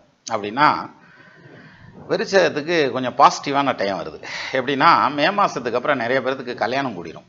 விருச்சராசியில் பெண்டிங்லேயே இருந்திருக்கோம்ல. அதே அப்பா இருக்கிறா இந்த ஆண்டு திட்டம் போட்டு பொண்ணு தேடிக்கி இருக்கான் மாப்பிள்ளை தேடிக்கி இருக்கான். ஒன்றும் செட்டான வட்டத்தையும் காணா அப்படின்னு. அதில் சிலர் வந்து பொண்ணு மாப்பிள்ளை ரெடியாக இருக்கும் எவனாவது ஒருத்தன் நடுவில் வந்து குறுக்கப்படுத்துக்கிறியான் அதெல்லாம் முடியாது. நான் தரமாட்டேன் பிள்ளை. அல்லது பையனுக்கு கட்ட மாட்டேன் அல்லது வந்து இது கட்டினா நான் இருக்க மாட்டேன் அப்படின்னு என்னத்தையா ஒரு காரணத்தில் வந்து கூப்பிட விழுந்துருவாங்க. இப்போ அவங்கெல்லாம் எந்திரிச்சு போயிடுவாங்க. எப்போ? மே மாதத்துக்கு அப்புறம் நிறைய பேர்த்துக்கு கல்யாணம் கூடுறதுக்கான அமைப்பு இருக்குது ஏன்? அப்படியா? ஏற்கனவே கல்யாணம் ஆகி எனக்கு புள்ள குட்டி எல்லாம் இருக்குது எனக்கு ஒரு வாய்ப்பு இருக்கா ஐயா அப்படின்னு கேட்டுறாதீங்க. அப்படிலாம் வாய்ப்பு சொல்ல முடியாது. பட் இருந்தாலும் அது கூட ஒரு சிலருக்கு வாய்ப்பு இருந்தால் பண்ணலாம்ல. ஏன் பண்ணக்கூடாதுன்னு சொல்லணும். இருந்தாலும் அது வந்து சரியாக வராது. மொத்தத்தில் திருமணத்திற்கான அமைப்பு நிறையா கைகூடி வரும். அதே மாதிரி இந்த டைமில் ஏன் போன வருஷத்துலேயே ரெண்டாயிரத்தி இருபத்தி மூணுல நிறைய பேர் வந்து லவ்வால் பாதிக்கப்பட்டிருப்பீங்க. பாதிக்கப்பட்டிருப்பீங்க மீன்ஸ் இந்த சென்ஸ் வந்து லவ்வில் நிறைய பேர் விழுந்திருப்பீங்க. புதுசாக லவ்வை ஸ்டார்ட் பண்ணி விட்டுருப்பீங்க. ஈவன் கல்யாணம் ஆனவங்களுக்கு கூட லவ் வந்திருக்கும் சார் அப்படின்னா நாங்கள்லாம் ஒழுக்கம் இல்லாதவர்கள் அப்படி ஆரம்பிச்சிடாதீங்க. நான் எல்லாத்துக்கும் சொல்லலைன்னு சொல்லிட்டேன். சரியா? அந்த ரெண்டுக்கு அதிபதி ஆறில் போய் அஞ்சுக்கு அதிபதி ஆறில் போய் நிற்கல குடும்பத்தில் இது சம்மந்தமான பிரச்சனைகளை சந்திச்சிருப்பீங்கன்ற மாதிரியான அமைப்பு. அதில் இப்போ இப்போ அதெல்லாம் ஓவர் கம் பண்ணி வந்துடலாம். சின்ன வயசாக இருந்தா தானே. வயசான காலத்தில் எங்கள் தாத்தா அவர் வந்து யாரோடய பேசிகிட்டு இருக்காரு. பாட்டிகிட்டேன்னா என்னத்தையே வச்சுட்டு போறியான் போங்கடான்ட்டு போயிடலாம் இல்லையா? இது அப்படி இல்லை ஸோ இந்த லவ் அஃபேரில் இருந்தவங்களுக்கெல்லாம் இப்போ கல்யாணம் கூடுறதுக்கான அமைப்பு இல்லைப்பா எங்களுக்கு லவ்வெல்லாம் இல்லை. நாங்கள்லாம் நம்ப ஒழுக்கமாக இருக்கோம். அப்போ உங்களுக்கும் கல்யாணம் கூடுறதுக்கான அமைப்பு அப்படின்ற மாதிரியான அம்சம் உண்டு. சரி கல்யாணம் ஆனவங்களுக்கு குழந்தை பாய்க்கிறதுக்கான அமைப்பு கிடைக்கும். ஃபைனான்ஷியல் டெவலப்மெண்ட் இருக்கும். கொஞ்சம் கடை வாங்கக்கூடிய சூழல் இருக்குது. அந்த கடை ஏழ்ரெல்லாம் இல்லை சார். சார் விருச்சக ராசிக்கு ஏழ்ரை கிடையாது ஏழரை முடிஞ்சு வச்சு. ஆனால் கடன் இருக்கும் உங்களுக்கு. அப்போ ஏழ்ரை வந்தால் தானே ஏன் கடன் இருக்குன்னா ஏழ்ரை இல்லாமல் கடன் இருக்கா? இருக்குது அப்புறம் எப்படி இருக்கு? அதுக்கு தான் அதுதான் சொன்னேன். ஏழ்ரைக்கும் கோச்சாரங்கிறது இட் ஹேஸ் அ லிமிட்டேஷன் கோட்டை தாண்டி அது வராது. பேச்சு பேச்சாத்தையும் இருக்கும். சரியா? அதனால் இந்த ஏழரை சனி அப்படிங்கிறதுங்க இதை முடிஞ்சிருச்சு. இல்லை விருச்சிக ராசிக்கு. ஆனால் கடன் இருக்கும் அப்படின்ற மாதிரியான அமைப்பு. புதுசாக கடன் பட வேண்டியது வரும். அது பாசிட்டிவான கடனாக இருக்கும். நெகட்டிவாக இல்லை. ஒரு சொத்து வாங்குறதுக்காக கடை வாங்குவீங்க. ஒரு வண்டி வாங்குறதுக்காக கடை வாங்கி ஏதோ ஒரு காரணம். மொத்தத்தில் பாசிட்டிவான கடை வாங்குறதுக்கான அமைப்பு இருக்குது அப்படின்ற மாதிரியான அம்சம் சொல்லலாம். சரி. அப்போ இதில் வந்து விருச்சக ராசியை பொறுத்த வரைக்கும் எடுத்துட்டால் திருமண காலம் கைகூடி வரும். அப்போ அந்த தொழில் பண்ணுறதை பற்றி ஒன்றும் சொல்லலையா அப்படின்னு கேட்க நம்மள சொந்த தொழில் பண்ணுறதுங்கிறதுக்கான டைம் நல்ல டைம் அதுவும் பூர்வீக ஊரில் இருந்து தொழில் பண்ணுறதுங்கிறது கொஞ்சம் ரிஸ்கபிளாக தெரியும். அவங்க மட்டும் ஜாதகத்தை வெரிஃபை பண்ணிக்கோங்க. மற்றபடி பூர்வீக தொட்டு வெளியில் இருக்கீங்க. ஜஸ்ட் ஒரு ஒருத்தர் தள்ளி இருந்தால் கூட சத்தியம். அல்லது வெளிநாட்டில் போய் உட்காந்துருந்தாலும் சத்தியம். அவங்களுக்கு தொழில் இனிஷியேட் பண்ண ஆரம்பிக்கிறதுக்கான அமைப்பு நல்லா இருக்குது அது நல்லாவும் வரும். எது? விருச்சக ராசியை பொறுத்த வரைக்கும். அப்போ தொழில் ஸ்தானம் ஸ்ட்ராங்காக இருக்குது அப்படின்ற மாதிரியான அமைப்பு எடுத்துக்கிடலாம்.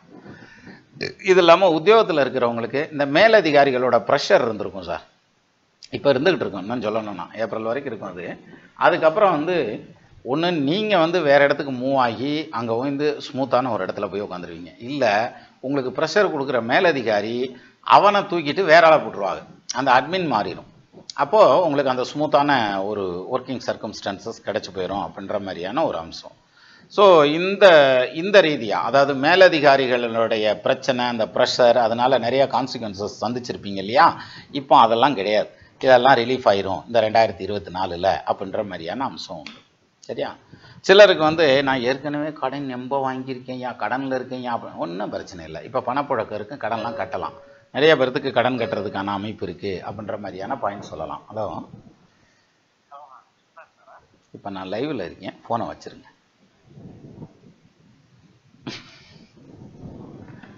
அதாவது ஃபோனை கட் பண்ணக்கூடாதுன்னு நினச்சேன். மறந்துட்டேன். இருங்க வரேன். அதையும் முடிச்சிடுவோம் இங்கே ஏறாப்பிள்ளைன காணா? இருக்கு. ஸோ ஃபைனான்ஷியலாக தொழில் ரீதியாக முன்னுக்கு வர்றது அப்படிங்கிறது வந்து இந்த டைமில் நல்லாவே சொல்லும் அப்படின்ற மாதிரியான அமைப்பு சொல்லலாம். இது மட்டும் இல்லாமல் விருச்சராசியை பொறுத்த வரைக்கும் எடுத்துக்கிட்டால் ரிலேஷன்ஷிப் பில்டப் ஆகிறது நல்லாயிருக்கும் இந்த மாமனார் வீட்டோடலாம் மல்லு கட்டிட்டு கிடப்பான்ல. இப்போ அதெல்லாம் வந்து ஒத்து போகிறதுக்கான அமைப்பு இருக்குது அப்படின்ற மாதிரியான அம்சம். அதே மாதிரி பொண்ணாக இருந்ததுன்னா மாமியாரோட ஒத்து போகாமல் பெரிய பிரச்சனையாகி ஏழரை ஆகி எல்லாம் நிற்க நின்றுச்சுன்னா அதெல்லாம் கொஞ்சம் அனுசரித்து வரும். ஒரு சிலருக்கு குடும்பமே பிஞ்சு போய் கிடக்கும். அதாவது எப்படின்னா விருச்ச ராசியில் டைவர்ஸுக்கு போனாத்தையும் ஆகும் சரியாக வரும். நான் எனக்கு சுத்தமாகதியாக நான் வாழைய மாட்டேன் கூட அப்படின்ற மாதிரி தெரிச்சு போய் நிற்கிறாங்கன்னு வச்சுங்களேன் அவங்கெல்லாம் கூட மனசு மாதிரி வர்றதுக்கு வாய்ப்பு உண்டு. சரியா? அதுக்கான அமைப்பும் இருக்குது அதனால் இப்போ போயிட்டுருக்க இந்த ரெண்டாயிரத்தி இருபத்தி நாலு அப்படின்றது இந்த விஷயத்தில் ஒரு நல்ல ஒரு பலன்களை கொடுக்கறதுக்கான அமைப்பு ஸ்ட்ராங்காக உண்டு பயப்பட வேண்டியதில்லை. இது வந்து விருச்சகத்தை பொறுத்த வரைக்கும். அப்போ விருச்சக ராசி அப்படின்னு எடுத்துட்டா யோகமான ராசி ரெண்டாயிரத்தி இருபத்தி நாலு உங்களுக்கு ரொம்பவே நல்லாயிருக்கும். அதுலேயும் குறிப்பாக ஏப்ரலுக்கு அப்புறம் பாருங்கள் பொருளாதாரம் டெவலப் ஆகும். எதிர்பார்த்த பணம் வரும். சொத்து பத்து சம்மந்தப்பட்ட விஷயங்கள் ஒரு ஃபைனலைஸ் ஆகுறதுங்கிற மாதிரியான அமைப்பு லிட்டிகேஷன் ப்ராப்பர்ட்டி எல்லாம் இருந்துச்சுன்னா அதெல்லாம் ஒரு ஃபைனலைஸ் ஆகும். ஸோ இதில் வந்து நல்லபடியாக முன்னுக்கு வருவீங்க. எது? ரெண்டாயிரத்தி இருபத்தி நாலில். அப்போ ரெண்டாயிரத்தி இருபத்தி நாலு உங்களுக்கு சகல ஐஸ்வர்யத்தையும் கொடுக்கணும்னு எல்லாம் வல்ல பரம்பொருளை வேண்டிக்கலாம். சரியா? செந்தனை கந்தனை செங்கோட்டு விற்பனை செந்தமிழ் நூல் விரித்தோனை விடங்கு வெள்ளி காந்தனை கந்த கடம்பனை கார்மையில் வாகனனை சாந்துனை போதும் மறவாதவர்க்கு தாழ்வில்லையண்ணா அது குரு பயிற்சி வந்தா என்ன சனி பயிற்சி வந்தா என்ன தசம் ராகு தசை நடந்தா என்ன சனி தசை நடந்தா என்ன. செல்வட்டழிந்தது செந்தூர் வயற்பொழில் தென்கடம்பின் மால்வட்டழிந்தது பூங்குடியார் மென்மனம் மாமயிலோன் வேல்வெட்டழிந்தது வேலையின் ஜூரனும் வெறுப்பும் அவன் கால்வட்டழிந்தது இங்கு என் தலைமையில என் கையெழுத்தே அப்படின்றான். அப்போ தலையெழுத்தையே மாற்றக்கூடிய அமைப்பு இருக்குது. அதனால் ஒன்றும் கவலைப்படாதீங்க. சரியா? விருச்சக ராசியை பொறுத்த வரைக்கும் இந்த ரெண்டாயிரத்தி இருபத்தி நாலு யோகமான வருடம் இன்னும் சிறப்பாக போகட்டும். முருகப்பெருமானை வேண்டிக்கோங்க. அடுத்தபடியாக வர்றதுங்கிறது வந்து துலாம் ராசி. காலபுருஷ தத்துவத்துக்கு ஏழாவதாக நிற்கக்கூடிய ராசி துலாம் ராசி சுக்கிரனுடைய ஆட்சி வீடு. சரி. இப்போ இந்த துலாம் ராசிக்கு ஏழரை சனி எட்டரை சனியெல்லாம் ஒன்றும் இல்லை. அர்த்தாஷ்டம சனி இருந்ததுன்றாங்க அது விலகிருச்சுன்னாங்க. அர்த்தாஷ்டம சனினா நாலாம் இட சனி சார். நாலாம் இடத்துல நெகட்டிவ் பெர்ஸ்பெக்டிவ் கொடுத்தா அம்மாவை பிடுங்கி விட்டுருக்கணும். அம்மாவுடைய உடல் நலத்தை கடுமையாக பாதிச்சிருக்கணும். ஒரு சிலருக்கு லைஃப் ரிஸ்க்கை கொடுத்துருக்கணும். சொத்து பத்து விற்கணும் வண்டி வாகனம் கையில் இருந்தால் விற்று போயிடணும் உடம்பு சரியில்லாமல் போயிடணும் வரவு செலவில் அடி வாங்கணும். தொழிலில் சிரமப்பட்டிருந்தேன் சிரமப்படுற மீன்ஸ் தொழில் கம்ப்ளீட்டாக விட்டு போயிடணும் எல்லாத்துக்குமா சார் நடந்துச்சு? நான் துலா ராசிக்காரங்களுக்கு தெரியாமல் கேட்குறேன் அர்த்த அர்த்தாஷ்டம சனியில் இந்த இதில் விருச்சக ராசிக்காரங்களுக்கு இப்போ அர்த்தாஷ்டம சனி நடந்துட்டுருக்குல்ல இந்த அர்த்தாஷ்டம சனி ஒன்றே கெடுத்துருன்னு அர்த்தமா? கிடையாது. துலா ராசிக்கும் விருச்சக ராசிக்கும் அர்த்தாஷ்டம சனி நல்லது தான் பண்ணும். கெடுக்காது. ஏப்பா கெடுக்காது? அங்கே தான் ஆட்சியாக இருக்கார்ல ஏ அதையும் மீறி கெடுக்குதியா? அப்படின்னா அப்படின்னா வேற இன்னும் வேற ஒன்றும் அர்த்தம் இல்லை. உங்களுடைய ஜாதகத்தில் ஒன்று அஞ்சு ஒன்பதாம் பாவாதிபதி செம்மத்தியாக வாங்கியிருப்பாருன்னு அர்த்தம். அப்படி வாங்கியிருந்தா இந்த பிறப்பில் இந்த கர்மாவில் நீங்கள் கொஞ்சம் கூடுதலாக அழுட்டு வந்திருக்கீங்கன்னு அர்த்தம். அப்போ நிறையா சிரமப்படுறதுக்கான அந்த பிராப்தத்தோடு வந்திருப்பாங்க. அவங்க வேணால் சிரமப்படலாம். மற்றபடி எல்லாரும் கஷ்டப்படணும்னு அமைப்பு இல்லை.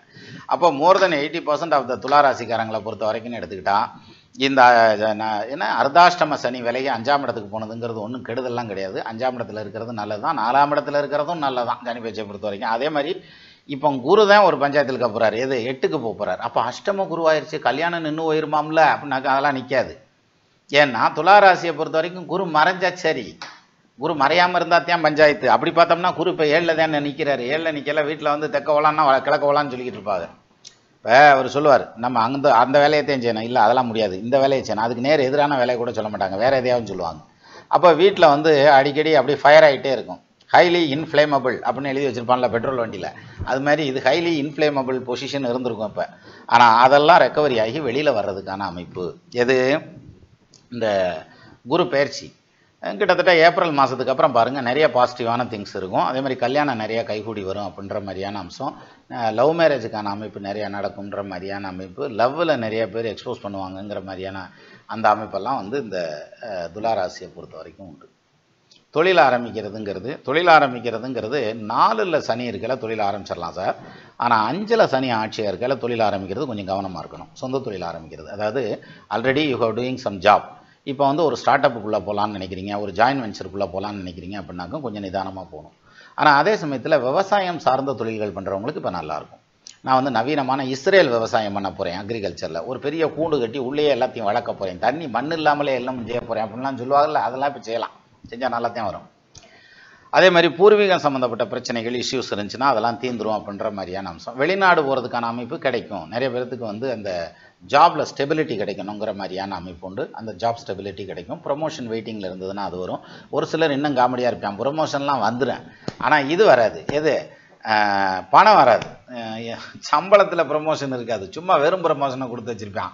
அதெல்லாம் இப்போ சம்பளத்தில் ப்ரொமோஷன் ஆகிறதுக்கான அம்சம் சொல்லலாம். அப்போ கிட்டத்தட்ட ரெண்டாயிரத்தி இருபத்தி நாலு அப்படிங்கிறது அஹ், துலாராசியை பொறுத்த வரைக்கும் it will be the positive time not in the negative எந்த விதத்தில்? In terms of career job job change and agriculture இந்த மாதிரியான லைனில் ஒரு சிலருக்கு வண்டி வாகனம் நிறைய பேர் வண்டி வாகனம் வாங்கியிருப்பீங்க. இது டூ வீலர் வச்சுருப்பீங்க கார் வாங்கியிருப்பீங்க. டூ வீலர்லேருந்து வே காருக்கு போயிருப்பீங்க. காரில் வேறு கார் மாற்றிருப்பீங்க அல்லது டூ வீலர் வேறு மாற்றிருப்பீங்க அது மாதிரி சேஞ்சஸ் சிலருக்கு இருக்கும். ஒரு சிலருக்கு ஒரு இடமாற்றம் இருந்திருக்கும். முதல் இருந்த இடத்த விட கொஞ்சம் சஃபிஸ்டிகேட்டடாக வசதியான ஒரு இடத்துல போய் உட்காந்துருப்பீங்கிற மாதிரியான அமைப்பெல்லாம் இப்போ இருந்தது. ஆல்ரெடி இருந்த பலன். இப்போ ரெண்டாயிரத்தி இருபத்தி நாலை பொறுத்த வரைக்கும் அப்படின்னு எடுத்துட்டா இது இன்னும் கொஞ்சம் ஸ்ட கான்க்ரீட்டாக நடக்கும். அதாவது இந்த மாதிரியான விஷயங்கள் யாருக்கு நடக்கலைன்னா அவங்களுக்கெல்லாம் இந்த டைமில் நடந்து வர்றதுக்கான அமைப்பு தொழில் இம்ப்ரூவ்மெண்ட் எல்லாம் இருக்கும் அப்படின்ற மாதிரியான அம்சம். புத்திர பாக்கியம் கிடைக்காம இருக்கிறவங்களுக்கு இப்போ புத்திர பாக்கியம் கிடைக்கும். இல்லை ஏற்கனவே ரெண்டு உள்ளே பத்து வச்சிருக்கோம். யா எங்களுக்கு ஆம்பளை பிள்ளை கிடைக்குமா அப்படின்னாக்கா அடுத்த குழந்தைக்கான டைம் இது. ஆனால் அது ஆம்பளை பிள்ளைங்கிறத உங்கள் ஜாதகத்தில் கன்ஃபார்ம் பண்ணிக்கோங்க. ஏன்னா ஒரு சிலருக்கு வந்து வாரிசே இருக்கக்கூடாது அப்படிங்கிற மாதிரியான அமைப்பெல்லாம் இருக்குது அவங்களுக்கு போயிட்டு உனக்கு அடுத்த ஆம்பளை பிள்ளை கிடைக்கும். அஞ்சில் சனி ஆட்சியாக இருக்குப்பா தைரியமாக பண்ணியா அடுத்த ஆம்பளை பிள்ளையா அப்படின்னு இருந்தோம்னாக்கா சரியாக வராது. ஸோ அதனால் அந்த அமைப்பு உங்கள் ஜாதகத்தில் இருக்காங்கிறத கன்ஃபார்ம் பண்ணிவிட்டு then you can move towards the புத்திர பாக்கியம் சரி. அப்போது இந்த துளாராசியை பொறுத்த வரைக்கும் அப்படின்னு எடுத்துக்கிட்டா இப்போ போயிட்டு இருக்கிற டைம் அருமையான டைம் சரியா? ரெண்டாயிரத்தி இருபத்தி நாலுங்கிறது ஆறாம் பாவத்தில் ராகு உட்காந்துருக்காரு வருங்க அது வந்து ரொம்ப யோகம் சார் சிக்ஸ்த் ஹவுஸ் ராகுங்கிறது கூறு ஆறாம் இடத்தில் குடியகோள் நிற்கன்னு வரும். பன்னெண்டாம் பாவத்தில் கேது உட்காந்துருக்காரு அருமையான பலன். நீண்ட காலமாக குலதெய்வம் தெரியாத இருந்தவங்களுக்கு நிறைய பேர்த்துக்கு இப்போ குலதெய்வம் தெரியும் இந்த வருஷத்தில் ரெண்டாயிரத்தி இருபத்தி நாலில். அதே மாதிரி குலதெய்வத்துக்கு போகாமல் இருக்கிறவங்க நிறைய பேர் போயிட்டு வருவாங்க. நிறையா நேர்த்தி கடன் பண்ணியிருப்பாங்க பணம் முடிப்பெல்லாம் முடிஞ்சு வச்சுருப்பாங்க இல்லை காணிக்கை எடுத்து முடிச்சு வச்சுருப்பாங்க அதெல்லாம் கொண்டு போய் செலுத்துறதுக்கான டைம் நான் ஒரு நாளாவது திருப்பதி போயிட்டு வரணும் அப்படின்னு இருப்பாங்க இல்லையா? தாராளமாக போயிட்டு வரலாம் இப்போ. இந்த இந்த இந்த வருஷம் போயிட்டு வரலாம் அதுக்கான அமைப்பு இருக்குது இந்த இடத்துல தான் ஒரு வார்த்தையை சொல்லலாம். திருப்பதிக்கு யார் போகக்கூடாது யார் போகலாம்? அப்படின்னாக்க இதுக்கு எப்படி பதில் சொல்கிறதுனே தெரியல. அதாவது கடவுள் வந்து ஒருத்தருக்கு நல்ல பலனும் இன்னொருத்தனுக்கு கெடு பலனும் செஞ்சுச்சுன்னு வச்சுங்களேன் அவன் கடவுளே இல்லை. சரியா? கடவுளுங்கிறது கருணை மிகுந்தது. ஸோ அது வந்து இயல்பாக சுற்றுறது அதில் நம்ம கர்மா சேர்ந்து சுற்றுறதுனால தான் ஒரு சிலருக்கு கஷ்டமும் நஷ்டமும் வர்றதுங்க சரி. இப்போ நீங்கள் எந்த கோயிலுக்கும் எப்போ வேணாலும் போகலாம் அதில் வந்து நீங்கள் ஒன்றும் இல்லை. திருப்பதிக்கு போனால் இது பாதிக்கும். அது வந்து இதில் பாதிக்கும் அதில் பாதிக்கும். சாஸ்திர பிரமாணம் சொல்லுங்கள் எந்த புஸ்தகத்தில் போட்டிருக்காங்க? எந்த புஸ்தகத்தில்னா இன்றைக்கி நம்ம நம்ம சமகாலத்தில் இருக்கவங்க எழுதின புக்கை விட்ருங்க அதெல்லாம் வேண்டாம். எந்த ஆதாரத்தில் இந்த மாதிரியான ஒரு பலன் சொல்ல முடியும்? அப்படின்னா கிடையாது. அதே மாதிரி சனீஸ்வரன் கோயிலுக்கு போய் நேராக நின்று சாமி கும்பிடாது இப்படி சைடில் நின்று இலையோ ஒளிஞ்சிருந்தாலும் விடமாட்டான்டா அப்படின்ற மாதிரியான அமைப்பு. எங்கே போய் ஒளிஞ்சிருந்தாலும் விடமாட்டேன். இதில் இங்கிட்டு திரும்பி நின்று தொட்டு கும்பிட்றாதான் தொட்டு கும்பிடாதங்கிறதுக்கு ஆயிரத்தி காரணம் உண்டு. அதை விட்டுறலாம். அது நேராக நின்று கும்பிடாத உளுந்து கும்பிட்றாத திண்ணீரை பூசிட்டு மட்டும் வா எடுத்துகிட்டு வந்துடாத. இங்கே பாருங்க அதெல்லாம் கிடையாது. இதெல்லாம் அதாவது மூட நம்பிக்கையோட எக்ஸ்ட்ராடினரி விஷயம் இதெல்லாம். நம்ம வந்து கோயிலில் போய் நம்ம கும்பிட்றது நம்மளே தான் சார் கும்பிட்றோம். உள்ளம் பெருங்கோயில் ஊனுடம்பு ஆலயம் வள்ளல் புரானுக்கு வாய் கோபுர வாசல் தெல்ல தெளிந்தார்க்கு சீவன் சிவலிங்கம் கள்ள புலனைந்தும் காடாமணி விளக்கேங்கிறார் திருமூலர். உடம்பை வளர்த்தேன் உயிர் வளர்த்தேனேங்கிறார். சரியா? நம்ம சிவவாய்க்கர் என்ன அருமையாக சொல்லுவார்? பண்டு நான் பறித்தெறிந்த வன்மலர்கள் எத்தனை பாலிலே ஜபித்து விட்ட மந்தரங்கள் எத்தனை மிண்டனாய் இருந்த போது இறைத்தனீர்கள் எத்தனை மீளவும் சிவாலயங்கள் சூழ வந்ததத்தனை. அப்போ இத்தனை இருந்தால் அப்புறம் எதுக்குப்பா கோயிலுக்கு போனோம் பேசாமல் நம்மளே கும்பிட்டுக்கிற வேண்டியதானே நம்மளை நம்மளே கும்பிட்டுக்கிற வேண்டியதானே அந்த மெச்சூரிட்டி நம்மகிட்ட கிடையாது. அதனால் கோயிலுக்கு போய் தான் ஆகணும். சரி அதனால் இந்த ரெண்டாயிரத்தி இருபத்தி நாலு துளாராசிக்காரங்களை பொறுத்த வரைக்கும் மிகுந்த யோகமான வருடமாக இருக்கும். கவலையே பட வேண்டாம். நிம்மதியாக அப்படி ஜென்ட்லாக ஜம்முன்னு கிளம்புங்க பிரிஸ்கா சரியா? ரைட் அடுத்து வர்றதுங்கிறது வந்து பார்த்திங்கன்னா காலபுருஷ தத்துவத்துக்கு ஆறாவது அணிக்கக்கூடிய ராசியான கன்னி ராசி. கன்னி ராசி ரொம்ப ஜாலியான ராசி. இல்லை எதையும் பெருசாக சீரியஸாக எடுத்துக்கிற மாட்டாங்க. எதுனாலும் பார்த்துக்கிறலாம் விடுப்பா. நான் அந்த கொஞ்சம் நேரம் அந்த ஃபங்க் ஆகிற மாதிரி இருக்கும். அதுக்கப்புறம் பார்த்தீங்கன்னா திருப்பியும் எலாஸ்டிக் மாதிரி அப்படி இழுக்கிற வரைக்கும் இழுக்கிற மாதிரி இருக்கும். விட்டதும் ஜவார்னா அதே இடத்துக்கு வந்துடுவான் ஜாலியாக இருந்துக்குவோம். விட்றா என்னத்தை தான் நடக்க போகுது பார்க்கலாம் அப்படின்ற மாதிரி. ஸோ கன்னிராசியை பொறுத்த வரைக்கும் எடுத்துட்டா இப்போ பக்தி மயமாகவே இருப்பாங்க சார். அட்டேங்கப்பா கோயில் குளம் போகிறது என்ன? இறை நம்பிக்கை என்ன? அல்லது வந்து வேண்டுதல்கள் நிறைவேற்றுறதுங்கிறது என்ன? அல்லது என்னென்னமோ செய்வாங்க. இன்னும் நிறையா சொல்லிட்டே போகலாம். இந்த ரெண்டாயிரத்தி இருபத்தி நாலுலையும் இது கண்டினியூ ஆகும். ஜம்முன்னு கண்டினியூ ஆகும். அப்புறம் இன்னொன்று கன்னிராசிக்காரங்களுக்கு ஹெல்த்து வந்து நல்லா இம்ப்ரூவ் ஆகும் சார் இப்போ. அதே மாதிரி சொத்து சம்மந்தப்பட்ட பிரச்சனைகள் இருந்ததுன்னா அதெல்லாம் தீர்வுக்கு வரும். இது இந்த ரெண்டாயிரத்தி இருபத்தி நாலில் தீர்வுக்கு வரணுங்கிற மாதிரியான அமைப்பு. அம்மாவுக்கு ஹெல்த் ஏதாவது பாதிக்கப்பட்டிருந்தால் அது ரெக்கவரி ஆகுன்ற மாதிரியான அம்சம். மனைவியோடு கூடிய ஒற்றுமை ரொம்ப நல்லாயிருக்கும் மனைவியுடைய தகப்பனாருக்கு வந்து ஏன் சொல்லு சொல்லு சொல்லு அப்படிங்கணும் இல்லை மனைவியுடைய தகப்பனாருக்கு ஹெல்த் வைஸ் கொஞ்சம் டிஸ்டர்ப் பண்ணுறதுக்கான வாய்ப்பு உண்டு. அல்லது ஃபைனான்ஷியல் வைஸ் கஷ்டப்படுவாங்க. அது மாதிரியான அம்சம் உண்டு. முடிஞ்சா ஹெல்ப் பண்ணுங்க. அதனால் என்ன இருக்கு? பொண்ணையே வத்து கொடுத்துருக்காரு. ஏ அவர் தயா சொன்னார். என் பாரத்தையே உங்ககிட்ட தூக்கி வச்சுட்டேன் அப்படின்னு? அவள் இவ்வளோ நாள் சமந்துக்கிட்டு இருந்திருக்காரு. நம்மளை தூக்கி சமக்க வச்சுருக்காரு அப்படின்னு சொல்லுவாங்க. இல்லை அது மாதிரி கூட எடுத்துக்கிடலாம். மொத்தத்தில் இந்த கன்னிராசியை பொறுத்த வரைக்கும் எடுத்துட்டான் நடப்பு வருடம் தொழில் ரீதியாக நல்ல முன்னேற்றம் வர்றதுக்கான வருஷம். More than ninety percent of the கன்னிராசிக்காரங்களுக்கு தொழிலில் ஒரு பாசிட்டிவ் சேஞ்சஸ் இருக்கும் சார். நீங்கள் நல்லா பாருங்கள் தெரியும். More than ninety percent of the இதுக்கு அதுக்குன்னு நான் வந்து இப்போ டீ கடை வச்சுருக்கேன். நான் வந்து பிரியாணி கடை வைக்க போயிடுவேனா அப்படின்னாக்கா அப்படி இல்லை. ஸோ ஒரு ஒரு அப்கிரேடு பண்ணுறது தொழிலை கொஞ்சம் அப்கிரேட் பண்ணுறதுக்கான அமைப்பு அதில் இன்வெஸ்ட்மெண்ட்டை கூட்டுறதுங்கிற மாதிரியான அம்சம் பிரான்ச்சஸ் ஓப்பன் பண்ணுறது ப்ரொடக்ஷன் கெப்பாசிட்டியை கூட்டுறதுங்கிறது ரிசோர்ஸஸை கூட்டுறதுங்கிற மாதிரியான அம்சம் இது மாதிரியான வேலைகள்லாம் கன்னிராசிக்கு இப்போ நல்லபடியாக விருத்தி ஆகும் அப்படின்ற மாதிரியான அமைப்பு. சரியா? அதை வந்து காலத்துக்கு ஏற்ற மாதிரி எடுத்துக்கணுமே தவிர இல்லை இல்லை கடப்பாறை இறக்குன மாதிரி தான் நாங்கள் எடுத்துக்கிறோம்னு எடுத்துக்கக்கூடாது சரியா? ஜோதிடம் அப்படிங்கிறது ஒரு கை விளக்கு அப்படிம்பாங்க. விளக்கு வந்து வேற எந்த வேலையும் செய்யாது. அது பளிச்சுன்னு எரிஞ்சுக்கிட்டா அது தேமைன்னு நிற்கும் பாக்கி அந்த வெளிச்சத்தில் நம்ம தான் எல்லாத்தையும் பண்ணிக்கிறணும். சரியா? இந்த இப்போ லைட்டை போட்டு விட்ருக்கேன் இல்லையா? லைட்டு எரியுது. என்னையா காமிக்கும் லைட்டு ஆனால் மிச்சத்தை நான் தானே பண்ணணும் சரியா? நான் தான் லைட்டை போட்டோம்ல அதுவே பண்ணிக்கிறாதானா பண்ணாது. அது மாதிரி தான் ஜோதிடம். ஜோதிடம் வந்து உங்களை கைட் பண்ணும். இது இப்படி பண்ணிங்கன்னா நல்லாயிருக்கும் சக்ஸஸ் ஆகும். இந்த இடத்துல உங்களுக்கு ட்ரபிள் இருக்குது ப்ராப்ளம் இருக்குது அப்படிங்கிறத கைட் பண்ணும். அதை விட்டுட்டு ஜோதிடர் வந்து பிரம்மா கிடையாது. இந்த விதியை மாற்றி எழுதுறது. சரி ரைட் அதை விடுங்க. இப்போ அடுத்ததுக்கு போவோம். அப்போது தொழில்துறை அப்படிங்கிறதுல நல்ல இம்ப்ரூவ்மெண்ட் இருக்கும். ஃபைனான்ஷியல் இம்ப்ரூவ்மெண்ட் நல்லாயிருக்கும். ஒரு சிலருக்கு வீடு வாசல் கட்டுறது சொத்துச்சோம் வாங்குறதுங்கிற மாதிரியான அமைப்பு வந்து சேரும். இதுவும் இல்லாமல் வந்து குறிப்பாக சொல்லணும்னா ஜூலை மாதத்துலேருந்து நவம்பர் மாதம் வரைக்கும் நடக்கக்கூடிய டைம் வந்து வேலையில் இருக்கிறவங்களுக்கு ஒரு சின்ன வைப்ரேஷன் வைப்ரேஷன் மீன்ஸ் இந்த சென்ஸ் வந்து பாதிக்கப்பட்டுரும்னு அர்த்தம் இல்லை வேலை இல்லாமல் போயிடும்னு அர்த்தம் கிடையாது. அந்த வேலையில் ஒரு சின்ன வைப்ரேஷன் வரும். அதுவும் பாசிட்டிவான சேஞ்சஸ் எல்லாம் வர்றதுக்கான வாய்ப்பு இருக்குது அதுதான் இந்த ரெண்டாயிரத்தி இருபத்தி நாலுடைய ஸ்பெஷலைசேஷன் எஸ்பெஷலி ஃபார் விர்கோ கன்னிராசி. சரி இப்போ கேது இங்கே இருக்கார் ராகு ஏழில் இருக்கார். அது எதுவும் பஞ்சாயத்தில் துடுமா? அப்படின்னாக்க சுக்கரன் அந்த இடத்துல உச்சமாகி இருந்தால் உங்கள் ஜாதகத்தில் எங்கள் மீனத்தில் சுக்கரன் இருக்கார். இப்போ ராகு அங்கே போய் உட்காந்துருக்கார் அப்படின்னா உங்கள் வீட்டுக்காரம்மா கொஞ்சம் சவுண்டு கூட வச்சுருவாங்க ஆம்பிளிஃபயரில் அதனால் சவுண்டு கொஞ்சம் ஜாஸ்தியாக இருக்கும்னு அர்த்தம். சரியா? வேறு ஒன்றும் பிரச்சனை எல்லாம் இல்லை. அதே மாதிரி பார்ட்னர்ஷிப்பில் இருக்கீங்க அப்படின்னா இப்போ இன்வெஸ்ட்மெண்ட்ஸ் எல்லாம் கூடுதலாக தேவைப்படும். நீங்கள் ஜூனுக்கு அப்புறம் இன்வெஸ்ட்மெண்ட்ஸ் அதிகம் பண்ணலாம். ஒன்றும் பிரச்சனை இல்லை. தொழில் ஸ்தானத்து ரீதியாக பட் புதுசாக தொழில் ஸ்டார்ட் பண்ணுறது புதுசாக இனிஷியேட் பண்ணுறது அப்படின்னு இருந்ததுன்னா மேக்குள்ளே பண்ணிடுங்க அப்படி இல்லாட்டி அடுத்த வருஷம் பண்ணிக்கலாம். ரெண்டாயிரத்தி இருபத்தி அஞ்சில் பண்ணிக்கலாம். சரியா? வித்தின் மேக்குள்ளே நீங்கள் தொழில் ஏதாவது இன்வெஸ்ட் பண்ணி இப்போ ஸ்டார்ட் பண்ணுறது even it is join venture also அது மாதிரி ஏதாவது பண்ணுறதா இருந்தால் பண்ணிடணும். இல்லையா? விட்டுறணும். ஸோ விவசாயத்தை பொறுத்த வரைக்கும் எடுத்துட்டா போன வருஷம் விவசாயமும் கால்நடையும் பெருசாக ஒன்றும் கை கொடுத்துருக்காது. ஈவன் ட்ராவல்ஸு டூர்ஸ் நடத்தினவங்களுக்கு கூட பெருசாக ஒன்றும் ப்ராஃபிட்டபுளாக போயிருந்திருக்காது. ஆனால் இந்த ஏப்ரலுக்கு அப்புறம் வர பீரியட் இந்த பரிச்சலிவிலேருந்து பாருங்கள் சூப்பராக போகும். அதில் வந்து இந்த தடவை கிராப் போடுறது எல்லாமே ஊக்கமாக பண்ணிக்கோங்க. நிறைய கூட பண்ணிக்கோங்க. அது ஒன்றும் பிரச்சனை இல்லை. அதில் குறிப்பாக ஜூன்ல இருந்து நவம்பர் வரைக்கும் கருப்பு நிற பொருட்கள் ஜஸ்ட் லைக் எள்ளு உளுந்து இந்த மாதிரியான ஐட்டம் வந்தால் மட்டும் கொஞ்சம் குறைச்சி பண்ணணும். மற்றபடி வெள்ளை கலர் ஐட்டம் மஞ்சள் கலர் ஐட்டம் பண்ணுறதுங்கிறதெல்லாம் ரொம்ப பிரமாதமாக பண்ணிக்கலாம். ஒன்றும் பிரச்சனையே கிடையாது. ஃபுல்லாக சக்ஸஸ் ஆகும். சரியா? அப்போ கன்னிராசியை பொறுத்த வரைக்கும் கல்யாணத்துக்கு சொல்லலை. ஏ மெயின் கன்னிக்கு கல்யாணம் தான். ஐயா கன்னிக்குன்னாக்க இப்போ குரு வந்து எட்டாம் பாவத்தில் இருக்கார். அது ஒன்றும் பிரச்சனை இல்லை. ஒரு சிலருக்கு நடந்திருக்கும். எட்டில் குரு இருந்தால் கூட கன்னிராசிக்காரங்களுக்கு. இல்லைனாலும் ரிஷபத்துக்கு குரு பயிற்சியால் இப்படி வச்சுக்கோங்களேன். ஜூன் மாதத்துலேருந்து கிட்டத்தட்ட டிசம்பர் வரைக்குமே கல்யாணத்துக்கான டைம் இருக்குது கன்னிராசியில் இருக்கவங்களுக்கு. அதனால் நிறையா கல்யாணம் கைகூடி வரும் அப்படின்ற மாதிரியான அம்சம். சொத்து பத்து வாங்குறதுக்கான அமைப்பு இருக்கா? வாங்கியிருந்தீங்கன்னா அந்த கடனை கட்டிடுவீங்க இப்போ அந்த மே மாதத்துக்கு அப்புறம் வரையில. நாங்கள் சொத்தும் வாங்கலை கடனும் வாங்கலை. கம்முன்னு இருக்கோம். ஏயா என்னையா போட்டு இங்க இமிசை வந்துறீங்க அப்படின்னாக்க இப்போ சொத்து வாங்குறதுக்கான அமைப்பு அதுக்காக கடன் வாங்குறதுக்கான அமைப்பு. கடை வாங்கினாலும் கடன் கட்டிடலாம்.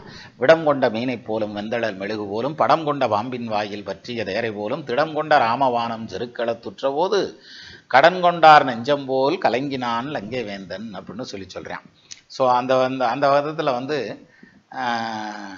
கடன் படுறதுங்கிறது வந்து ஒரு ரிஸ்க்கான வேலை. ஆனால் உங்களுக்கு அந்த கடனால் ஒன்றும் பிரச்சனை வரப்போகிறது இல்லை அதனால் பயப்பட வேண்டியதில்லை. ரெண்டாவது ராசியை குரு பார்க்குறாரு சார். அது ரொம்ப நல்ல வலுவான அமைப்பு. மேற்கப்புறம் வரையில் அதனால் ராகு எது அமைப்பும் சனி இருக்கக்கூடிய பயிற்சியும் குரு இருக்கக்கூடிய அமைப்பும் நல்லத்தையும் இருக்காங்க. அதனால் கோச்சாரம் ஓகே. இப்போ உங்கள் தசாவதி சப்போர்ட் பண்ணுச்சுன்னா really you will be succeed கன்னி ராசிக்காரங்களுக்கு பெரிய அளவில் சக்ஸஸ் பண்ணுவீங்க அப்படின்னு சொல்லலாம். சரியா? அந்த வகையில் கன்னிராசிக்காரங்க காரங்க சகல ஐஸ்வர்யத்தையும் பெற்று நல்லபடியாக வரணும்னு எல்லாரோட சேர்ந்து நானும் வேண்டிக்கிறேன். சரியா? இப்போ அடுத்த ராசிக்கு போகலாம் எந்த ராசி? கா காலபுருஷ தத்துவத்தின்படி அடுத்து நிற்கிறதுங்கிறது சிம்மம் அப்படின்னு எடுத்துக்கலாம். சிம்ம ராசி. சிம்ம ராசிக்கு போகிறதுக்கு முன்னாடி ஒருத்தர் கமெண்ட் விட்டுருந்தார் எங்கே இருங்க? ஆஸ்திரேலியாவிலேருந்து விட்டுருக்காரு மூன்று வருடம் முன்னால் நீங்கள் காட்டிய ஒரு ஜாதகத்திற்கு எடுத்துக்காட்டு ஜாதகத்துக்கும் எனக்கும் ஒரு நாள் தான் வித்தியாசம். நான் ஏன் சிரமப்படுகிறேன்? இது எப்படின்னா போன வருஷம் நான் மூணு வருஷத்துக்கு முன்னாடி நான் காய்ச்சல்னு வந்தப்போ ஒரு பச்சை கலர் மாத்திரையும் ஒரு சேப்பு கலர் மாத்திரையும் கொடுத்தீங்களா நீல மாத்திரையா வட்டமாக ஒன்று ரெண்டு மாத்திரை கொடுத்தீங்களா அதே கொடுங்கன்னு கேட்குற மாதிரி தெரில தெரியல சார். எது நம்ம எல்லா வீடியோலையும் வந்து எடுத்துக்காட்டு ஜாதகங்கள் இருக்கும். ஏன்னா ஒரு விஷயத்தை வந்து ஒரு ஒரு விஷயத்த பண்ணுறோம் அப்படின்னா அது வந்து எந்த அளவுக்கு செயல்படுது? சார் ஒரு கருவியை கண்டுபிடிக்கிறோம்னா அந்த கருவியை ப்ளக்கில் மாட்டி விட்டு ஓட்டி பார்த்தா தானே தெரியும் இது கருவியா இல்லை பெரிய சொருவியான்னு. அப்போ அது வந்து ப்ராக்டிக்கலாக ட்ரெயின் அப் பண்ணுறதுக்காக தான் அந்த எடுத்துக்காட்டு ஜாதகங்கள் கொடுக்குறது. அதில் ஏதோ ஒன்றை பிடிச்சிக்கிட்டு வந்துட்டீங்க நீங்கள் பார்ப்போம். அதுக்கு வாய்ப்பு கிடைக்கல. அதுக்கான பதில் எதுவும் கிடைக்குமான்னு பார்க்கலாம்.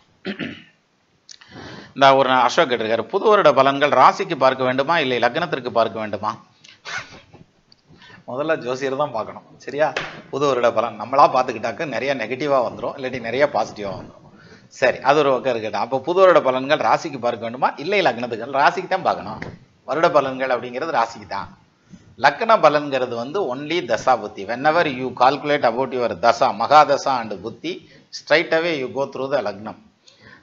மிச்சம் இருக்க அத்தனை விஷயத்துக்கு ராசிக்குள்ளே வந்துடும் அதான் விதி. சிலர் வந்து லக்னத்துப்படியும் கொண்டு போகிறாங்க அது எந்த அளவுக்கு கரெக்டுன்னு தெரியல. அது ப்ராக்டிக்கலாக சரியாக வந்தால் அதை ஃபாலோ பண்ணலாம். ஒன்றும் தப்பு இல்லை. பழையன கழிதலும் புதியன புகுதலும் புதுவதன்று உலகத்து இயற்கை அப்படின்றாங்க இல்லையா? அது மாதிரி உலகத்து இயற்கையாக கூட இருந்துட்டு சரி. இப்போ நம்ம என்ன ராசிக்கு எடுத்துகிட்டு இருந்தோம்? கன்னி ராசியை முடிச்சிருக்கோம். சிம்ம ராசிக்கு வருவோம். சிம்ம ராசி. ஏ எது வந்தாலும் வரட்டேன். பார்த்துருவோம் அதையும் ஏன் ஒரு கையே அப்படின்ற மாதிரியான ஸ்டைலில் இருக்கிறவங்க. அப்படியே வர்றப்பா நிற்கிறவங்க எப்படி? கடப்பார் கம்பு மாதிரி நிற்பாங்க வளைக்கலாம் முடியாது சிம்ம ராசியை பொறுத்த வரைக்கும் ஆனால் இது என்ன பிரச்சனைனா சிம்மராசிக்காரன் மனசில் இடம் பிடிச்சிட்டோம்னு வைங்களேன் அந்த நட்டு வச்ச கடப்பார் கம்பி தொத்துன்னு மொத்தமாக விழுந்துடும் மற்றதாவது லேசாக வளைஞ்சு கொடுக்கும் ஒடிஞ்சு கொடுக்கும் சார். இவங்க வந்து அ- செங்குத்தான் நின்றுவாங்க இல்லாட்டினா மொத்தமாக படுத்துருவாங்கன்ற மாதிரியான அமைப்பு. அப்போ இவங்களுடைய நம்பிக்கைக்கு பாத்திரமாகிற ஒரு ஆளாக இருந்தால் மட்டுமே போதும். அவங்கள வந்து மலையளவுக்கு நம்புவாங்கங்கிற மாதிரியான அமைப்பு. நம்பிக்கை துரோகத்தை தாங்க மாட்டாங்க. ஒன்ஸ் ஒரு தடவை தூக்கி எரிஞ்சிட்டாங்கன்னா அது அவ்வளோதான் அதுக்கப்புறம் திரும்பவே மாட்டாங்க. அது மாதிரியான ஒரு கேரக்டர் இவங்கெல்லாம். சிம்மராசியை பொறுத்த வரைக்கும் இப்போது சிம்ம ராசி எப்படி இருக்கு? அப்படின்னாக்க பிரமாதமாக இருக்கே. அதெல்லாம் ஒன்றும் பிரச்சனை இல்லை. எங்கே பிரச்சனை இல்லை? ரெண்டு ரெண்டில் கேது இருக்கார் எட்டில் ராகு இருக்கார் ஏழில் சனி இருக்கார். பத்தில் குரு வரப்போகிறார் எல்லாமே பஞ்சாயத்தாக போய் உக்காந்துருக்கேயா என்னையா செய்யறது அப்படின்ற மாதிரி உங்கள் தசாபுத்தி வந்து பாசிட்டிவாக இருந்ததுன்னா ரெண்டாயிரத்தி இருபத்தி நாலு நியூட்ரலாக இருக்கும். அதில் பெரிய டெவலப் இல்லைனாலும் நியூட்ரலாக இருக்கும். நெகட்டிவாக இருந்ததுன்னு வச்சுக்கோங்களேன். ஃபேமிலி சைடில் சத்தம் கித்தம் வர்றதுக்கு அதாவது ஹஸ்பண்ட் அண்ட் ஒய்ஃப் கடையில் understanding between husband and wife அப்படிங்கிறதுல இடிக்கிறதுக்கு வாய்ப்பு இருக்குது. அதே மாதிரி இந்த தடவை ஃபைனான்ஷியல் இன்வெஸ்ட்மெண்ட்ஸ் எதுவும் பண்ணிடாதீங்க. Including share market real estate investments இன்வெஸ்ட்மெண்ட்ஸில் வந்து இந்த இது மியூச்சுவல் ஃபண்ட் இன்வெஸ்ட்மெண்ட்ஸ் இதெல்லாம் நிறைய இறங்குறதுக்கு வாய்ப்பு இருக்குது சார் ஸோ நீங்கள் வச்சுருக்க காசை வந்து கோல்டு பாண்டில் இன்வெஸ்ட் பண்ணுங்கள் அல்லது கோல்டுலேயே இன்வெஸ்ட் பண்ணிடுங்க ஸ்ட்ரைட்டாகவே கையில் காசு இருந்ததுன்னா. காசு இல்லைன்னு வச்சுக்கோங்க. ஒன்றும் கவலையே விட வேண்டியதில்லை. காசு இருக்கிறவனுக்கு தான் அதை பற்றி கவலை. இதை எப்படி பாதுகாக்கிறது? அங்கிட்டு பாதுகாக்கிறதா? இங்கிட்டு பாதுகாங்க ஒன்றும் பிரச்சனை இல்லை. நமக்கு எந்த ப்ராப்ளமும் கிடையாது. காசே இல்லை இல்லை. வந்தால் பார்த்துக்குருவான் அப்புறம் கொண்டு போய் எங்கே சேர்த்து வைக்கிறதுன்னு பார்ப்போம். போங்கடான்ட்டு போயிடலாம். இல்லையா? அதாவது இல்லைங்கிறவனுக்கு ஒரே ஒரு கவலைங்க. இல்லைங்கிறது இருக்குன்றவனுக்கு ஆயிரத்தெட்டு கவலை இருக்கும். அந்த இடத்துக்கு போகல தான் தெரியும். ஸோ அந்த வகையில் வந்து சிம்ம ராசியை பொறுத்த வரைக்கும் எடுத்துட்டா இன்வெஸ்ட்மெண்ட் சைடில் வந்து நீங்கள் கவனமாக இருங்க. அதே மாதிரி வீட்டில் வீட்டுக்காரம்மா அல்லது கணவர். சிம்மராசிக்காரங்க மனைவியாக இருந்தால் கணவர் கணவராக இருந்தால் மனைவி. அவங்க வந்து கொஞ்சம் கூடுதலாக பேசுவாங்க. எல்லாரும் மீட்டர் கணக்கில் பேசுனா இப்போ கிலோமீட்டர் கணக்கில் பேசுவாங்க. சர்த்தியானு கேட்டு இந்த காலை வாங்கி அந்த காலை விட்டு போயிடணும் எல்லா புருஷனும் அத்தியம் பண்ணிட்டான். நம்மளும் அதையே பண்ணிட்டு போயிடணும் சிம்பிளாக அதை விட்டுட்டு நான் விளக்கம் சொல்ல போகிறேன் அப்படின்னு நீங்கள் கோனார் தமிழுரை போட்டாலும் விளங்காது. அது சரியாக வராது. அவங்களுக்கு சொல்லி புரிய வைக்க முடியாது. ஒன்றாச்சா இன்னொரு விஷயம் எடுத்துங்க. அதாவது கிட்டத்தட்ட இந்த லீகல் பிரச்சனையில் இருக்கவங்க அதாவது ஃபேமிலி இஷ்யூஸில் லீகலாக டைவர்ஸ் அப்படிங்கிற மாதிரிலாம் அப்ளை பண்ணியிருந்தாங்கன்னா இந்த வருஷம் டைவர்ஸ் ஆகிடும் மறு திருமணத்துக்கு வாய்ப்பு இருக்கா? இருக்குது அது மாதிரியான அமைப்பெல்லாம் இருக்குது அதனால் ஆல்ரெடி பிரச்சனையில் இருக்கிறவங்களுக்கு ஓகே ஒரு சிலருக்கு வந்து இந்த மாதிரி பிரச்சனைகள்லாம் வராது. அதுக்கு பதிலாக எப்படி வரும்னா ஹெல்த் வைஸ் கொஞ்சம் டிஸ்டர்ப் ஆகும். அதுலேயும் குறிப்பாக வந்து கண்ணுக்கு லென்ஸ் போடுறது கேட்ராக்ட் பண்ணுறதுங்கிறது அல்லது வந்து பல்லில் ரிப்பேர் பார்க்கறது ரூட் கனால் பண்ணுறதுங்கிறது கேப் போடுறதுங்கிற மாதிரியான அமைப்பு. இது மாதிரியான விஷயங்கள் பண்ணுவாங்க. பெரும்பாலும் டைஜஷன் ப்ராப்ளம் இருக்கும் சார். இப்போது இந்த ரெண்டாயிரத்தி இருபத்தி நாலு. அப்போ பாசிட்டிவ் என்ன அப்படின்னு எடுத்துக்கிட்டால் பாசிட்டிவை பொறுத்த வரைக்கும் உங்களுடைய ஹார்ட் ஒர்க்குக்கு ஏற்ற ரெகனைசேஷன் கம்மியாக இருந்தாலும் ஒர்க்கு ஸ்டெபிலிட்டி இருக்கும். அது ஒரு முக்கியமான விஷயம். அதே மாதிரி சொந்த தொழில் பண்ணுறவங்க இந்த வருஷத்தில் இன்வெஸ்ட்மெண்ட்டை எதுவும் கூட்டிடாதீங்க. இருக்கிற இன்வெஸ்ட்மெண்ட்டு போதுமானது இருக்கிற டேர்ன் ஓவர் போதுமானது. அதை பெருசு பண்ணுறேங்கிற நோக்கத்தில் இறங்குனீங்கன்னா இப்போ உங்கள் காம்படிட்டர் ஜெயிக்கிறதுக்கான டைம் நீங்கள் ஜெயிக்கிறதுக்கான டைம் இல்லை. அதனால காலம் கருதி இருப்பர் கலங்காது ஞாலம் கருதுபவர் அப்படின்னு சொல்லி சொல்லுவாங்க இல்லையா? அதனால அந்த காலம் வரும் வரைக்கும் காத்திருக்கிற வேண்டும். வினைவலியும் தன்வலியும் மாற்றான் வலியும் துணை வலியும் தெளிந்து செயல் அப்படின்றாங்கல்ல அது மாதிரி எல்லாத்தையும் கலந்து ஆரோ ஆலோசிச்சுட்டே ஜெயனா இந்த டைம்ல இன்வெஸ்ட்மெண்ட்டுக்கு ஸ்ட்ராங்கான டைம் இல்லை. அதே மாதிரி இப்போ இந்த புது வருஷத்தில் வந்து நிறைய பேர் இது எடுப்பாங்கல்ல சார் உறுதிமொழி எடுப்போம்ல. அதாவது சிகரெட் குடிக்க மாட்டேன் தண்ணி அடிக்க மாட்டேன் அல்லது வந்து வாக்கிங் போவேன் அப்படிலாம் சொல்லுவாங்கல்ல. அந்த உறுதிமொழி ஏதாவது எடுத்துக்கோங்க சார். ஏன்னா இப்போ வந்து ட்ரிங்க்ஸ் சாப்பிட்டுட்டு இருக்கிறவங்களுக்கு அந்த ட்ரிங்க்ஸ் பழக்கத்தை கண்ட்ரோல் பண்ணுங்கள் ஏன்னா இப்போ அதனால் பாதிப்புகளை கொடுக்கறதுக்கு வாய்ப்பு இருக்குது. அதே மாதிரி சிகரெட்டு அந்த மாதிரியான விஷயங்களில் கவனமாக இருங்க. அந்த லாகரி வஸ்துக்கள்னு சொல்கிறாங்கல்ல அதில் வந்து கொஞ்சம் கவனமாக இருங்க. கவனமாக மீன்ஸ் இது ஒன்றும் பெருசாக பாதிச்சிடும்னு அர்த்தம் கிடையாது. இருந்தாலும் prevention is better than cure இல்லையா? அதனால் ப்ரிவென்ஷனாக இருக்கிறது நல்லது. இது வந்து சிம்ம ராசியை பொறுத்த வரைக்கும் மற்றபடி சிம்ம ராசிக்கு கல்யாண காலகட்டம் எப்படி இருக்கும்? அது கொஞ்சம் டிலே ஆகும் சார். ஒரு ஒரு வருஷம் டிலே ஆகும். அதுக்கப்புறம் கல்யாணத்துக்கான அமைப்பு நல்லா இனிஷியேட் ஆகும். அப்படின்னா எல்லாத்துக்கும் வந்து கல்யாணம் லேட் ஆகுமா? அப்படின்னாக்க எல்லாத்துக்கும் கல்யாணம் லேட் ஆகாது. சிம்ம ராசியில் கல்யாணம் ஆகிறதும் உண்டு. சரியா? சார் பாலைவனம் சார். சகாரா பாலைவனம் அப்படின்றாங்க. ஒரு புல்லு பூண்டு கூட முளைக்காது அப்படின்றாங்க. அங்கேயும் செடி இருக்குது உயிரினம்லாம் இருக்குல்ல. எப்படா இருக்குது அங்கே? அப்படின்னம்னாக்க அதையும் தாக்கு பிடிச்சி வளரக்கூடிய தன்மை இருக்குல்ல. அது மாதிரி தான் ஒரு சிலருக்கு அது நடக்கலாம். ஆனால் எல்லாத்துக்கும் இது வந்து பாசிட்டிவான டைம்னு எடுத்துக்கிற முடியாது. ஆனால் ரெண்டாயிரத்தி இருபத்தி நாலு உங்களை பொறுத்த வரைக்கும் ஈஸிலி மேனேஜபிளாக போகும். பெரிய ரேப்பிட் டெவலப்மெண்ட் இருக்கிறது கஷ்டம். ஆனாலும் வந்து டெவலப்மெண்ட்டு ஓரளவுக்கு இருக்கும். அதாவது இருக்கிறத சஸ்டைனபிலிட்டி அப்படிங்கிறது நல்லாவே கொண்டு போகலாம் அப்படின்ற மாதிரியான அமைப்பு இருக்குது அதனால் சிம்ம ராசியை பொறுத்த வரைக்கும் யோகமான வருஷம்னு எடுத்துக்கோங்க. இதுக்கு என்ன செய்யறது? ஏரானை காவலுரை எண்ணானை கன்றடித்த போரானை கன்றுதனை போற்றினால் வாராத புத்தி வரும் பத்தி வரும் புத்தரூர் பத்தி வரும் சத்தி வரும் சித்தி வரும் தான். நம்ம எண்ணிய காரியம் சித்தி ஆகணுமா? சித்தி விநாயகரை பிடிங்க போதுமா? சரியா? மற்றபடி வந்து ரெண்டாயிரத்தி இருபத்தி நாலு சிம்ம ராசிக்கு சகல ஐஸ்வர்யத்தையும் கொடுக்கணும் அப்படின்னு சொல்லி உங்களுடைய சார்பாக நம்ம எல்லாருடைய சார்பாக நம்ம எல்லாரும் எல்லா ராசிக்கும் வேண்டிக்கிறோம். சரியா? அடுத்து வர்றதுங்கிறது வந்து காலபுருஷ தத்துவத்துக்கு நாலாவதாக நிற்கக்கூடிய ராசி கடகராசி இந்த கடகராசிக்காரங்க அப்படின்னு எடுத்துக்கிட்டோம்னாக்க இந்த ஒரு முடிவு எடுத்துருவாங்க. அப்புறம் இது சரியாக இருக்குமா? இல்லை அதை எடுத்துடலாமா அந்த முடிவு சரியாக இருக்குமா? இல்லை இங்கிட்டு வந்துடலாமா இது சரியாக இருக்குமா? அது சரியாக இருக்குமா? அப்படின்ற குழப்பத்தோடயே கரெக்டாக போயிடுவாங்க எடுக்கிற முடிவு சரியாக தான் இருக்கும். ஆனால் கன்ஃபியூஸ் பண்ணிக்கிடுவாங்க அது மாதிரியான டைப்பு ஸோ அந்த வகையில் இப்போ நான் நான் இந்த ரெண்டாயிரத்தி இருபத்தி நாலு அப்படிங்கிறது கடகராசியை பொறுத்த வரைக்கும் எப்படி இருக்கும்? அப்படின்னா கடகராசி யோகமாக இருக்கும் சார். எந்த விதத்தில் யோகமாக இருக்கும்? இப்போ குறிப்பாக தொழிலில் இருக்கிறவங்களுக்கு அதாவது தொழிலில் கஷ்டப்பட்டுட்டு இருக்கவங்களுக்கு கடகராசிப்பா நான் சொந்த தொழில் பண்ணிக்கிட்டு இருக்கேன். அதை எங்கே இருக்கிற நம்ப சிரமப்பட்டுக்கு இருக்கான். வேலைக்கு ஆள் கிடைக்க மாட்டேங்கிறான். இன்வெஸ்ட்மெண்ட் கிடைக்க மாட்டேங்கிறது அல்லது வியாபாரம் ஆக மாட்டேங்கிறது வியாபாரம் கம்மியாக போயிருக்கு. இந்த பாயிண்ட்லலாம் சொன்னீங்கன்னா இப்போ அதெல்லாம் ரெக்கவரி ஆகிறதுக்கான டைம் சார் இன்னொரு விஷயம் உங்கள்கிட்ட அக்கௌண்ட்ஸ் வந்து கரெக்டாக இருக்காது இப்போ. நீங்கள் அக்கௌண்ட்ஸை வந்து கொஞ்சம் சிவியராக கையை வச்சு பாருங்கள் அதுக்கான டைம் இது. அதெல்லாம் பார்த்தீங்கன்னாக்க ஏதாவது ஓட்ட உடசல் இருந்துச்சுன்னா அதெல்லாம் சரி பண்ணிடலாம். டிங்கரிங் பட்டி டிங்கரிங்லாம் பார்த்து கரெக்ட் பண்ணிடலாம். ஸோ இப்போது இந்த ரெண்டாயிரத்தி இருபத்தி நாலு உங்களுக்கு சேதமாகக்கூடிய பொருளாதாரத்தை தடுத்து நிறுத்தும். அதே மாதிரி தொழிலில் இம்ப்ரூவ்மெண்ட் உண்டு மார்ச் மாதத்துக்கு அப்புறம். நல்ல இம்ப்ரூவ்மெண்ட்டே இருக்குது. ஃபைனான்ஷியலாக டெவலப் ஆவீங்கிற மாதிரியான அமைப்பு கடன் கட்டுவீங்கிற மாதிரியான அமைப்பு. இதெல்லாம் வந்து பாசிட்டிவாக சொல்லலாம். அப்போ இந்த பதினொன்றில் குரு உட்காந்துருக்கிறதுங்கிறது யோகத்தை கொடுக்கக்கூடிய அமைப்பு தான் அதே மாதிரி சனி எட்டில் நிற்கிறதுங்கிறது அஷ்டம சனின்றாங்க ஏங்க இருக்கிற அப்படின்னாக்கா அதெல்லாம் ஒன்றும் கிடையாது. அஷ்டமத்தில் சனி ஆட்சியாக தான் இருக்காரு. இருந்தால் ரெண்டு புறார். சார் போன மிதுனத்தில் அஷ்டம சனி நடந்தது. அஷ்டமங்கிறது உசுரை கொடுக்கக்கூடிய இடம் தானே? எட்டாம் இடம்ங்கிறது ஆயுள் ஸ்தானம் தானே சார்? அப்போ அஷ்டமத்தில் சனி நடந்ததுனாக்கா அந்த மிதுன ராசிக்காரங்களுக்கு எல்லாத்துக்கும் ஆயுள் கண்டம் வந்துருச்சா? இல்லை இல்லை. நல்லா தானே இருக்காங்க. சார் எனக்கு காசு போச்சுமா மனம் போச்சுமா சொத்து போச்சுமா இல்லாட்டி நிம்மதி என்னத்தையே போச்சு. போனது போட்டோம் சார் போட்டோம். ஆனால் உசுர் இருக்குல்ல சம்பாரிச்சுக்கிறலாம்ல உசுர் வச்சுன்னா என்னத்தை வச்சு சம்பாதிப்ப ஒன்றத்தை வச்சும் சம்பாதிக்க முடியாது இல்லையா? ஆனால் இந்த மிதுன ராசிக்காரங்களுக்கு அப்படி ஒன்றும் கஷ்டம் இல்லை. எல்லாத்துக்குமே அவங்கவுங்க கஷ்டம் பெருசு சார். இப்போ என்கிட்ட கேட்டால் நான் நம்ப சிரம்பறேன் தான் சொல்லுவேன். கடுகை துளைத்தேல் கடலை புகுத்தி கடுகை துளைத்தேல் கடலை புகுத்தி குறுக தரித்த உரல் நான் திருக்குறளுக்கு. ஏழு கடலை உள்ளே வச்சு தரிச்சாலும் மிச்சம் இருக்கும்ன்றான். அந்த மாதிரி வந்து நுணுக்கமான குரல். அவ்வளோ நுணுக்கமான அந்த கடுகை தூக்கி கண்ணுக்கிட்ட வச்சுக்கிட்டோம்னா என்ன செய்யும்? உலகத்தையே மறைச்சினா அப்போ உலகத்தை விட கடுகு பெரிதானது அப்படின்னு சொல்கிறது தான் எல்லாத்துக்கும் அவன் கஷ்டம் பெருசு தான் ஆனால் அஷ்டம சனி இப்போ கடகராசிக்காரங்களுக்கு கஷ்டத்தை கொடுத்துருமா அப்படின்னாக்க நஷ்டத்தையும் கொடுக்காது கஷ்டத்தையும் கொடுக்காது. அது மீறி நீங்கள் நஷ்டமானாலோ கஷ்டப்படுறேன் அல்லது சிரமப்படுறேன் அப்படின்னு நீங்கள் சொன்னீங்கன்னா நிச்சயமாக அதுக்கு சனி காரணம் இல்லை சார். நடக்கிற தசாபுத்தி தான் சார் காரணம். நீங்கள் ஒன்றுக்கு ரெண்டு தடவை டபுள் செக் பண்ணி பாருங்கள் தெரியும். ஏன்னா தசாபதி பாசிட்டிவாக இருந்ததுன்னா இந்த சனி வந்து நெகட்டிவாக கொடுக்கவே முடியாது. நியூட்ரலைஸ் தான் நடக்க முடியும். கொடுக்கவே முடியாது நெகட்டிவாக அதே இது உங்களுக்கு தசாபதி நெகட்டிவாக இருந்ததுன்னா இது சுழுக்கு எடுத்துரும். எது? இந்த எட்டில் வர்ற சனி. உண்டு இல்லைன்னு ஒன்று விட்டு போயிடும் அந்த இதில் மாற்றவர்களுக்கு தான் சிரமம். அப்படி தான் மிதனத்தில் ஏதாவது மாட்டியிருப்பாங்களே தவிர மற்றபடி எல்லாரும் நான் நம்ப சிரமப்பட்டு போனேன் அப்படின்னு. அதெல்லாம் ஒன்றும் கிடையாது. உள்ளதுலேயே மிகச் சிரமம் என்ன தெரியுமா? பிரசவம் சார். பொண்ணு வைக்கிறதுனா எவ்வளோ கஷ்டம் அந்த பிள்ளைக்கு அப்படின்னு? அப்படி சொல்லலை. அந்த சிசுவுக்கே சிரமம் தான் அந்த அதாவது க- கருவறையிலேருந்து அவன் வெளில வர்றான் பாருங்க. அந்த இடம் நல்ல வேளை அதெல்லாம் விவரம் தெரியாமல் வழி தெரியாமல் வந்துருது உண்மையிலேயே ஆக்சுவலாக அது ரொம்ப டஃப்பான டைம் சரி அது ஒரு பக்கம் இருக்கட்டும். அப்போது தகப்பனார் வழி சொந்த வந்தத்தோட கொஞ்சம் ஒட்டுதல் குறையிறதுக்கான அமைப்பு இருக்குது. ஒரு சிலருக்கு வந்து நெஞ்சில் வலி வர்ற மாதிரி இருக்கேன். நீ நான் சொல்கிறது முதல் நல்லா கேட்டுக்கங்க. நெஞ்சில் வலி வர்ற மாதிரி இருக்கும். ஹார்ட் அட்டாக்கு கிடையாது. ஏன்? உங்கள் ஹார்ட் அட்டாக் உங்கள் ஹார்ட் தான் உங்கள் வாழ்க்கை துணைகிட்ட இருக்குமே. அப்புறம் எதுக்கு அட்டாக்லாம் வருது? அதெல்லாம் ஒன்றும் இல்லை.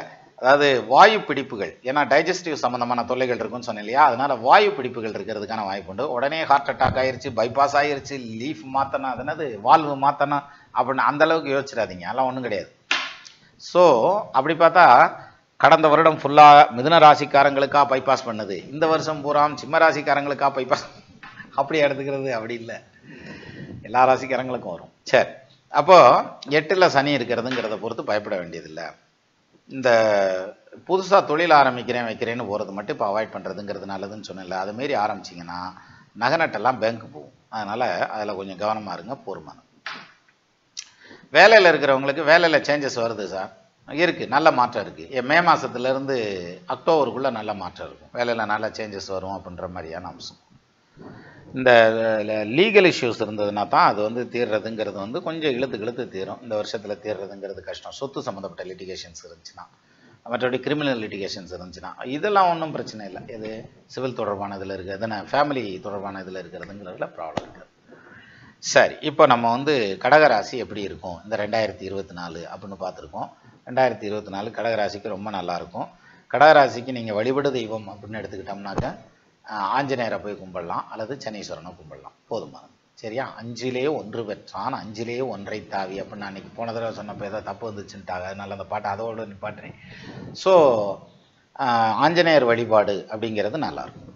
அல்லது சனீஸ்வரன் வழிபாடு. சனிக்கிழமை சனிக்கிழமை சனீஸ்வரனை போய் பாட்டுவாங்க. உடனே நான் சனிக்கிழமை தோறும் கருப்பு கலர் ட்ரெஸ் போட்டு கொள்ளட்டுமா? அப்படின்னாக்க இதெல்லாம் ஆண்டவனை ஏமாத்துற வித்தை. நம்மளை விட அவன் விவரமானவன் சார். நம்ம வந்து நான் வந்து கிழக்கு பார்த்து உட்காரட்டுமா பச்சை கலர் துணி போட்டுக்கரட்டுமா கருப்பு கலர் துணி போட்டுக்க அதெல்லாம் ஒன்றும் கிடையாது. அந்த கலர் வந்து நமக்கு மைண்டில் வந்து ஒரு நல்ல வேவ் லென்த்தை உருவாக்கும். அப்போ நம்மளுடைய வேலை வந்து ப்ளஷராக நடக்கும். அதனால தான் ஒவ்வொருத்தரும் ஒரு ஒரு தீம் கலர் வச்சுருப்பான். பார்த்தீங்கன்னா தெரியும். அப்போ அந்த தீம் கலரில் வந்து அவங்களுக்கு மனசு ஃப்ரெஷ் ஆகுதுன்னு அர்த்தம். அப்போ அது அப்படி அதை அப்படியே கண்டினியூ பண்ணிகிட்டே போவாங்க. அவ்வளோதானே தவிர இந்த கலர் போட்டால் சக்ஸஸ் ஆகிடும் அந்த சேலை கட்டினேன்னா நான் எனக்கு இருமலும் தும்மலும் மாத்தே வரும். சளி பிடிச்சித்தான் வந்தேன். காய்ச்சப்படுத்தித்தான் வந்தேன் பண்ணுவாங்க சில அதெல்லாம் கிடையாது. அந்த அந்த சேலையை தூக்கி ஒரு ஓரமாக வச்சுருப்பாங்க. அது கழிக்கவும் முடியாது. ஏன்னா வேற யாருக்கும் கொடுக்க முடியாது. அதான் பிடிக்குமே அந்த சேலையை. அதெல்லாம் ஒன்றும் கிடையாது. நீங்கள் தைரியமாக ட்ரெஸ்ஸு வந்து எந்த ட்ரெஸ்ஸு வேணாலும் போடலாம். நான் ஏற்கனவே ஷார்ட்ஸில் கூட சொல்லியிருந்தேன். நீ எந்த ட்ரெஸ்ஸாக வேணாலும் போடு. உனக்குன்னு வர்றது எங்கேயும் போகாது. பார்சல் கட்டி கரெக்டாக அட்ரஸ் பார்த்து டெலிவரி பண்ணிடுவாங்க. ஸ்விக்கி மாதிரி. சரி அவன் கூட ஃபோன் பண்ணி கேட்பான். ஆண்டவன் ஃபோன் பண்ணி கேட்க மாட்டான். இங்கே தான்டா இருக்கேன். போடுறான் வந்தாலன்னு ஓட்டுறான். ஸோ ஸோ கடகராசிக்கு இப்படி சார். இப்போ நம்ம அடுத்த ராசிக்கு போகலாம் காலபுருஷ தத்துவத்துக்கு மூணாவதாக நிற்கக்கூடிய ராசி. எது? மிதுன ராசி. இந்த மிதுன ராசி புதனுடைய ஆட்சி வீடு. இதுக்கு என்ன மாதிரியான பலன்கள் இருக்குது அப்படிங்கிறத இப்போ பார்க்கலாம். நம்ம டைம் எவ்வளோ போயிருக்கிறோம் போயிருக்கோம் சொல்லு சொல்லுங்க நானும் வேமா சொல்லாம்னு தான் ஆரம்பிச்சேன் எங்கிட்டு போய் வேமா சொல்கிறது சரி மிதுனம். இந்த மிதுனத்துக்கு வந்து இந்த வருஷம் சொத்து சம்மந்தப்பட்ட பிரச்சனை இருந்தால் அது ஒரு தீர்வுக்கு வரும் சார். ஒன்று விட்டு கொடுத்துட்டு போயிடுவாங்க இல்லாட்டினா உங்கள்கிட்ட விலைக்கு நீங்கள் அவங்களுக்கு கொடுத்துட்டு வந்துடுவீங்க வண்டி வாகனத்தை மாற்றணும் இல்லாட்டி மெயின்டெனன்ஸ் செலவு பண்ணணும் அப்படிங்கிற மாதிரியான டைம் வரும் சார்.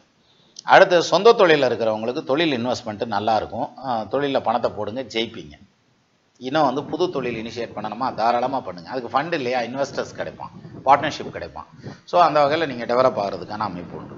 அது மட்டும் இல்லாமல் மிதுன ராசியில் வந்து வெளிநாடுகளில் இருக்கிறவங்களுக்கு இப்போ பிஆர் ஜிசி வாங்குறது இஏடி வாங்குறது அந்த மாதிரியான விஷயங்கள்லாம் வந்து இதுக்கப்புறம் நடக்கும். ஜூலை மாதத்துக்கு அப்புறம் ஜூலை மாதம் மிடிலுக்கு அப்புறம் கிட்டத்தட்ட டிசம்பர் வரைக்குமே அந்த அமைப்பு உண்டு. ஸோ இந்த பீரியடில் வந்து ஜிசி வாங்குறதுங்கிறது வெளிநாடு போகிறதுங்கிறது விசா கன்ஃபார்ம் ஆகிறதுங்கிறது ஜாப் கன்ஃபார்ம் ஆகிறதுங்கிறது இதெல்லாமே நல்லாயிருக்கும். படிக்கிறவங்களுக்கு கூட நல்லாயிருக்கும் சார் இந்த பீரியடு ஸோ அந்த வகையில் மிதுன ராசியை பொறுத்த வரைக்கும் எடுத்துக்கிட்டால் இந்த புது வருடம் ரெண்டாயிரத்தி இருபத்தி நாலுங்கிறது வந்து தொழில் ரீதியாக புதுசாக பண்ணுறவங்களுக்கு ஓகே தாராளமாக பண்ணலாம். ஜாப்ல இருக்கிறவங்களுக்கு ஜாப்ல சேஞ்சஸ் வர்றதுக்கான அமைப்பு ஒரு சிலருக்கு தான் உண்டு பெருசாக ஒன்றும் கிடையாது. இருந்தாலும் அந்த ஒரு சிலருக்கு சேஞ்ச் வர்றதா இருந்தாலுமே மே மாதத்துலேருந்து தான் வரும். அடுத்தது வந்து வெளி ஊர் போகிறது வெளிநாடு போகிறது அப்படிங்கிற பாயிண்ட் நிறைய பேர்த்துக்கு உண்டு. அப்புறம் வந்து வாகன வகையில் செலவினங்கள் அல்லது இருப்பிட மாற்றம் வர்றதுங்கிற மாதிரியான அமைப்பு. விவசாய விவசாயம் அல்லது விவசாயம் சார்ந்த தொழிலில் இருக்காங்க இல்லையா? அவங்க மட்டும் இப்போ கொஞ்சம் அடக்கி வாசிக்கிறது நல்லது. பெருசாக இன்வெஸ்ட்மெண்ட் போட வேண்டாம். அதே மாதிரி கால்நடை வளர்ப்பும் கம்மியாக வச்சுக்கோங்க. ஆடு மாடு போக்குவரத்தும் கம்மியாக வச்சுக்கிறதுங்கிறது நல்லது. ஸோ இதுதான் இதில் முக்கியமான விஷயம். அப்போது மிதுனத்தை பொறுத்த வரைக்கும்னு எடுத்துக்கிட்டால் மிதுன ராசிக்கு இந்த ரெண்டாயிரத்தி இருபத்தி நாலுங்கிறது நெகட்டிவாக ஒன்றும் இல்லை. இடமாற்று இடமாறுதல் நிறைய பேர்த்துக்கு வரும். தொழில் வந்து இம்ப்ரூவ் ஆகிறதுக்கான அமைப்பு. வேலை வாய்ப்பில் பாசிட்டிவான டைம் இருக்குது. அதில் ப்ரொமோஷன் வர்றதுங்கிற மாதிரியான அம்சம்லாம் கூட உண்டு. அந்த ப்ரொமோஷனுக்காக ஒரு வேலை கொடுக்க வேண்டி வரும். ஃபேமிலியை பிரிஞ்சு போகிறது வெளியூர் போகிறது வெளிநாடு போய் வர்றது இது மாதிரியான வேலைகள்லாம் கூட செய்ய வேண்டி வரும். பட் எது எப்படி எடுத்துக்கிட்டாலும் இந்த டைம் வந்து சக்ஸஸ்ஃபுல்லான டைம் அப்படிங்கிற மாதிரியான அம்சத்தில் சொல்லலாம். அப்போ ரெண்டாயிரத்தி இருபத்தி நாலு மிதுன ராசிக்காரங்களுக்கு யோகமான பலன்களை செய்யும். இன்னும் குறிப்பாக சொல்லணும்னா தொழில் ரீதியாக உத்தியோக ரீதியாக சோசியல் ஸ்டேட்டஸில் அரசியலில் இருக்கிறவங்களுக்கு இவங்களுக்கெல்லாம் சக்ஸஸ் ஆகிறதுக்கான வருஷம். எது? மிதுனம். அப்போ மிதுன ராசிக்காரங்களுக்கு எல்லா ஐஸ்வர்யமும் கிடைக்கணும்னு உங்களோட சேர்ந்து நானும் வேண்டிக்கிறேன். இப்போது காலபுருஷ தத்துவத்துக்கு அடுத்ததாக நிற்கக்கூடிய ரெண்டாவதாக நிற்கக்கூடிய ரிஷபராசிக்கு போவோம். ரிஷபராசி சுக்கரனுடைய ஆட்சி வீடு. இந்த ரெண்டாயிரத்தி இருபத்தி நாலு நல்லா இருக்குமா? அப்படின்னாக்க குரு பயிற்சியில் ஏதோ சென்ம குரு வருதாம்ல அப்புறம் மாட்டிக்கிறோம்ல அப்படின்னாக்க அதெல்லாம் மாட்டாது. அதாவது தொழிலில் நல்ல இம்ப்ரூவ்மெண்ட் இருக்கும். நீங்கள் தொழிலில் தப்பான முடிவு எடுத்து வச்சு கடன் ஆகிறதுக்கு வாய்ப்பு இருக்குது சார். அதே மாதிரி வேலை பார்க்குற இடத்துல தவறான முடிவுகள் நீங்கள் எடுத்து ஸ்டெப் எடுத்து வச்சு அந்த வேலையை விட்டு வெளில வரேன் அப்படி இப்படின்னு எதையாவது வச்சிங்கன்னா மாட்டிக்கிடுவீங்க இது எப்போன்னா இந்த ப பொசிஷன் எல்லாமே வந்து மார்ச் மாதத்துக்கு அப்புறம் ஆகஸ்ட் மாதம் வரைக்கும் இருக்கும். சரியா? இந்த மீன் டைம் நீங்கள் வந்து கிட்டத்தட்ட ஐடியலாக இருக்கணும். சரியா? நல்ல ஒரு கழகு சொல்லாமல் இருப்பது பேசாமல் இருந்துக்கணும் என்ன இருக்கோ அந்த வேலையில் அப்படியே ஓடிட்டு போயிடணும். என்ன பிஸ்னஸ் இருக்கோ அந்த பிஸ்னஸில் அப்படியே ஓடிட்டு போயிடணும். என்ன காரணம்? என்ன காரணம்னா வேலையில் இருக்கிறதுங்கிறது புது மேலதிகாரிகள் வந்து அதில் ப்ரெஷர் கொடுக்க வாய்ப்பு இருக்குது அதாவது சொந்த தொழிலில் இருக்கிறவங்களுக்கு கவர்மெண்ட் அஃபிஷியல்ஸ் எல்லாம் இருப்பாங்க இல்லையா? இன்ஸ்பெக்டர் ஆஃப் ஃபேக்ட்ரிஸ் இருக்கட்டும் அல்லது இபி டிபார்ட்மெண்ட்டாக இருக்கட்டும் இப்படி ஏதோ ஒன்று சேல்ஸ் டேக்ஸு இந்த மாதிரி ஜிஎஸ்டி இந்த மாதிரி என்ன விஷயங்கள்லேருந்து வர்றவங்க ஏதாவது தொல்லை கொடுக்கறதுக்கான வாய்ப்பு அந்த டீட்டெயில் எடுக்கிறதுக்கு. அப்போ அக்கௌண்ட்ஸை கரெக்டாக வச்சுக்கிறதுங்கிறது மோஸ்ட் இம்பார்ட்டன்ட் இந்த அதர் திங்ஸ் இப்போ இந்த நடப்பு அந்த பர்டிகுலர் பீரியடில் மட்டும்தான். அதாவது ஏப்ரல்லேருந்து ஏன் மார்ச்லேருந்து ஆகஸ்ட் வரைக்கும் நடக்கிற பீரியட் அதுக்கப்புறம் ஓகே அதுக்கப்புறம் நல்லா தான் இருக்கும். அப்போ ரிஷபராசியை பொறுத்த வரைக்கும் ஃபைனான்ஷியல் டெவலப்மெண்ட்டு உண்டு. கடனாவது காசு வருமையா கைக்கு அப்படின்னு வச்சுக்கோங்க. ஒன்று அதே மாதிரி நிறைய பேர்த்துக்கு வெளிநாடு போகிறதுக்கான ஆப்ஷன்ஸ் கிடைக்கும். வேலையில் இருக்கிறவங்களுக்கு ப்ரொமோஷன் சேலரி ஹைக் அப்படிங்கிற மாதிரியான அம்சம் உண்டு. ஒரு சிலருக்கு வந்து குழந்தை பாக்கியத்துக்கான நிறைய கவலைப்பட்டு நிறையா வைத்தியம்லாம் பண்ணுவாங்க. அவங்களுக்கெல்லாம் இன்னும் ஒரு வருஷம் கழித்து சக்ஸஸ் ஆகிறதுக்கு வாய்ப்பு இருக்குது அதனால் பெரிய வைத்தியங்கள் பண்ணுறதுங்கிறத தவிர்க்கிறது நல்லது. சிலருக்கு வந்து பண்ணலாம். பண்ணுற மாதிரியான பொசிஷன் ஜாதகத்தில் இருக்கும். அப்படி இருந்ததுன்னா பண்ணலாம். மற்றபடி பொதுவான பலன்கள் தான் இதை சொல்றேன் அப்போ ரிஷபராசியை பொறுத்த வரைக்கும் ஃபேமிலி அண்டர்ஸ்டாண்டிங் அது நல்லாயிருக்கும். அதில் பிரச்சனை இருக்காது. மாமனார் மாமியார் வீட்டோட ஒத்து போகிறது அது கொஞ்சம் குறையும். அதில் கொஞ்சம் அனுசரித்து போய்க்கங்க. மற்றபடி கணவன் மனைவி ஒற்றுமை நல்லாயிருக்கும் அப்படின்ற மாதிரியான அம்சம் எடுத்துக்கிடலாம். அதே மாதிரி பிள்ளைகளை பற்றின கவலைகள் கூடுதலாக இருக்கும். அவங்களுக்கான செலவுகள் கூடுதலாகிறதுக்கான வாய்ப்பு உண்டு. நீங்கள் தொழில் ஆரம்பிக்கிறதுல மட்டும் கவனமாக இருக்கணும். மார்ச் டு ஆகஸ்ட்டில் தொழில் ஆரம்பிக்கக்கூடாது அப்படிங்கிற பாயிண்டில் தெளிவாக இருங்க மற்றபடி வந்து இந்த ரிஷபராசியை பொறுத்த வரைக்கும் சகல ஐஸ்வர்யமும் கிடைக்கக்கூடிய நல்ல ராசி. இந்த ரெண்டாயிரத்தி இருபத்தி நாலு அருமையாக கொண்டு போகும். கவலையே விட வேண்டாம். பி ரிலாக்ஸ் சரியா? அடுத்தபடியாக இருக்கிறதுங்கிறது முதல் ராசி. இதைத்தான் ஃபஸ்ட்டு ஆரம்பிச்சிருக்கணும். எல்லோரும் ஃபஸ்ட்டு தானே ஆரம்பிச்சு வர்றாங்க. ஏ நாங்கள் பின்னது அதாவது இதில் சொல்லுவாங்கள்ல நீ ஃபஸ்ட் ரேங்கா ஆமாம் நானும் ஃபஸ்ட் ரேங்க் தான். என்னடா நீ தான் படிக்கவே மாட்டேயே கீழே இருந்து என்றா அங்கே நான் தான்டா ஃபஸ்ட்டு அப்படின்னுவாங்க இல்லையா? அது மாதிரி. ஸோ இப்போ மேஷ ராசிக்கு வருவோம். மேசராசிக்காரங்க உணர்ச்சி வசப்பட்டா கூட நியாயவான் தர்மவான். எதுனாலும் நியாயமாத்தையும் பேசுவார். இல்லை எனக்கு பிரச்சனையே வந்தாலும் பரவாயில்லடா நான் கரெக்டாக தான் பேசுவேன் அப்படின்ற மாதிரியான டைப்புங்க ஸோ மேசராசிங்கிறது வந்து இந்த வருட பலன்கள். ரெண்டாயிரத்தி இருபத்தி நாலு நிறைய சுத்தல்ல விடுவோங்கள அலைச்சல். வேலை நிமித்தம் உத்தியோகத்தின் நிமித்தம் தொழிலின் நிமித்தம் அல்லது வந்து இது கோயில் குளம் போகிறதுங்கிறது இப்படி ஏதாவது ஒரு காரணத்தில் நிறைய சுத்தில் விடும். நீங்கள் இந்த ரெண்டாயிரத்தி இருபத்தி நாலில் you should not come out from your job existing job அது ரொம்ப முக்கியமான பாயிண்ட் இதை அண்டர்லைன் பண்ணி வச்சுக்கோங்க. நீங்களா ஜாப்லேருந்து வெளில வந்துடாதீங்க உங்களுக்கு ஜாப் ஸ்டெபிலிட்டி அப்படிங்கிறது according to your depends upon the ஜாதகம். உங்கள் ஜாதகம் என்ன சொல்லுதோ அப்படி தான் ஆனால் இங்கே வந்து வைப்ரேஷன் இருக்கும். வேலையில் வந்து வைப்ரேட் ஆகிறதுக்கான அமைப்பு. ஸோ அதனால் இந்த டைம் வந்து you should be more conscious about come out from the job or switch over the job அதில் சரியாக இருக்கணும். மற்றபடி வந்து சொந்த தொழில் பண்ணுறவங்களுக்கு இப்போ நல்லாயிருக்கும் வருஷம் ஃபுல்லாகவே நல்லாயிருக்கும் சார்.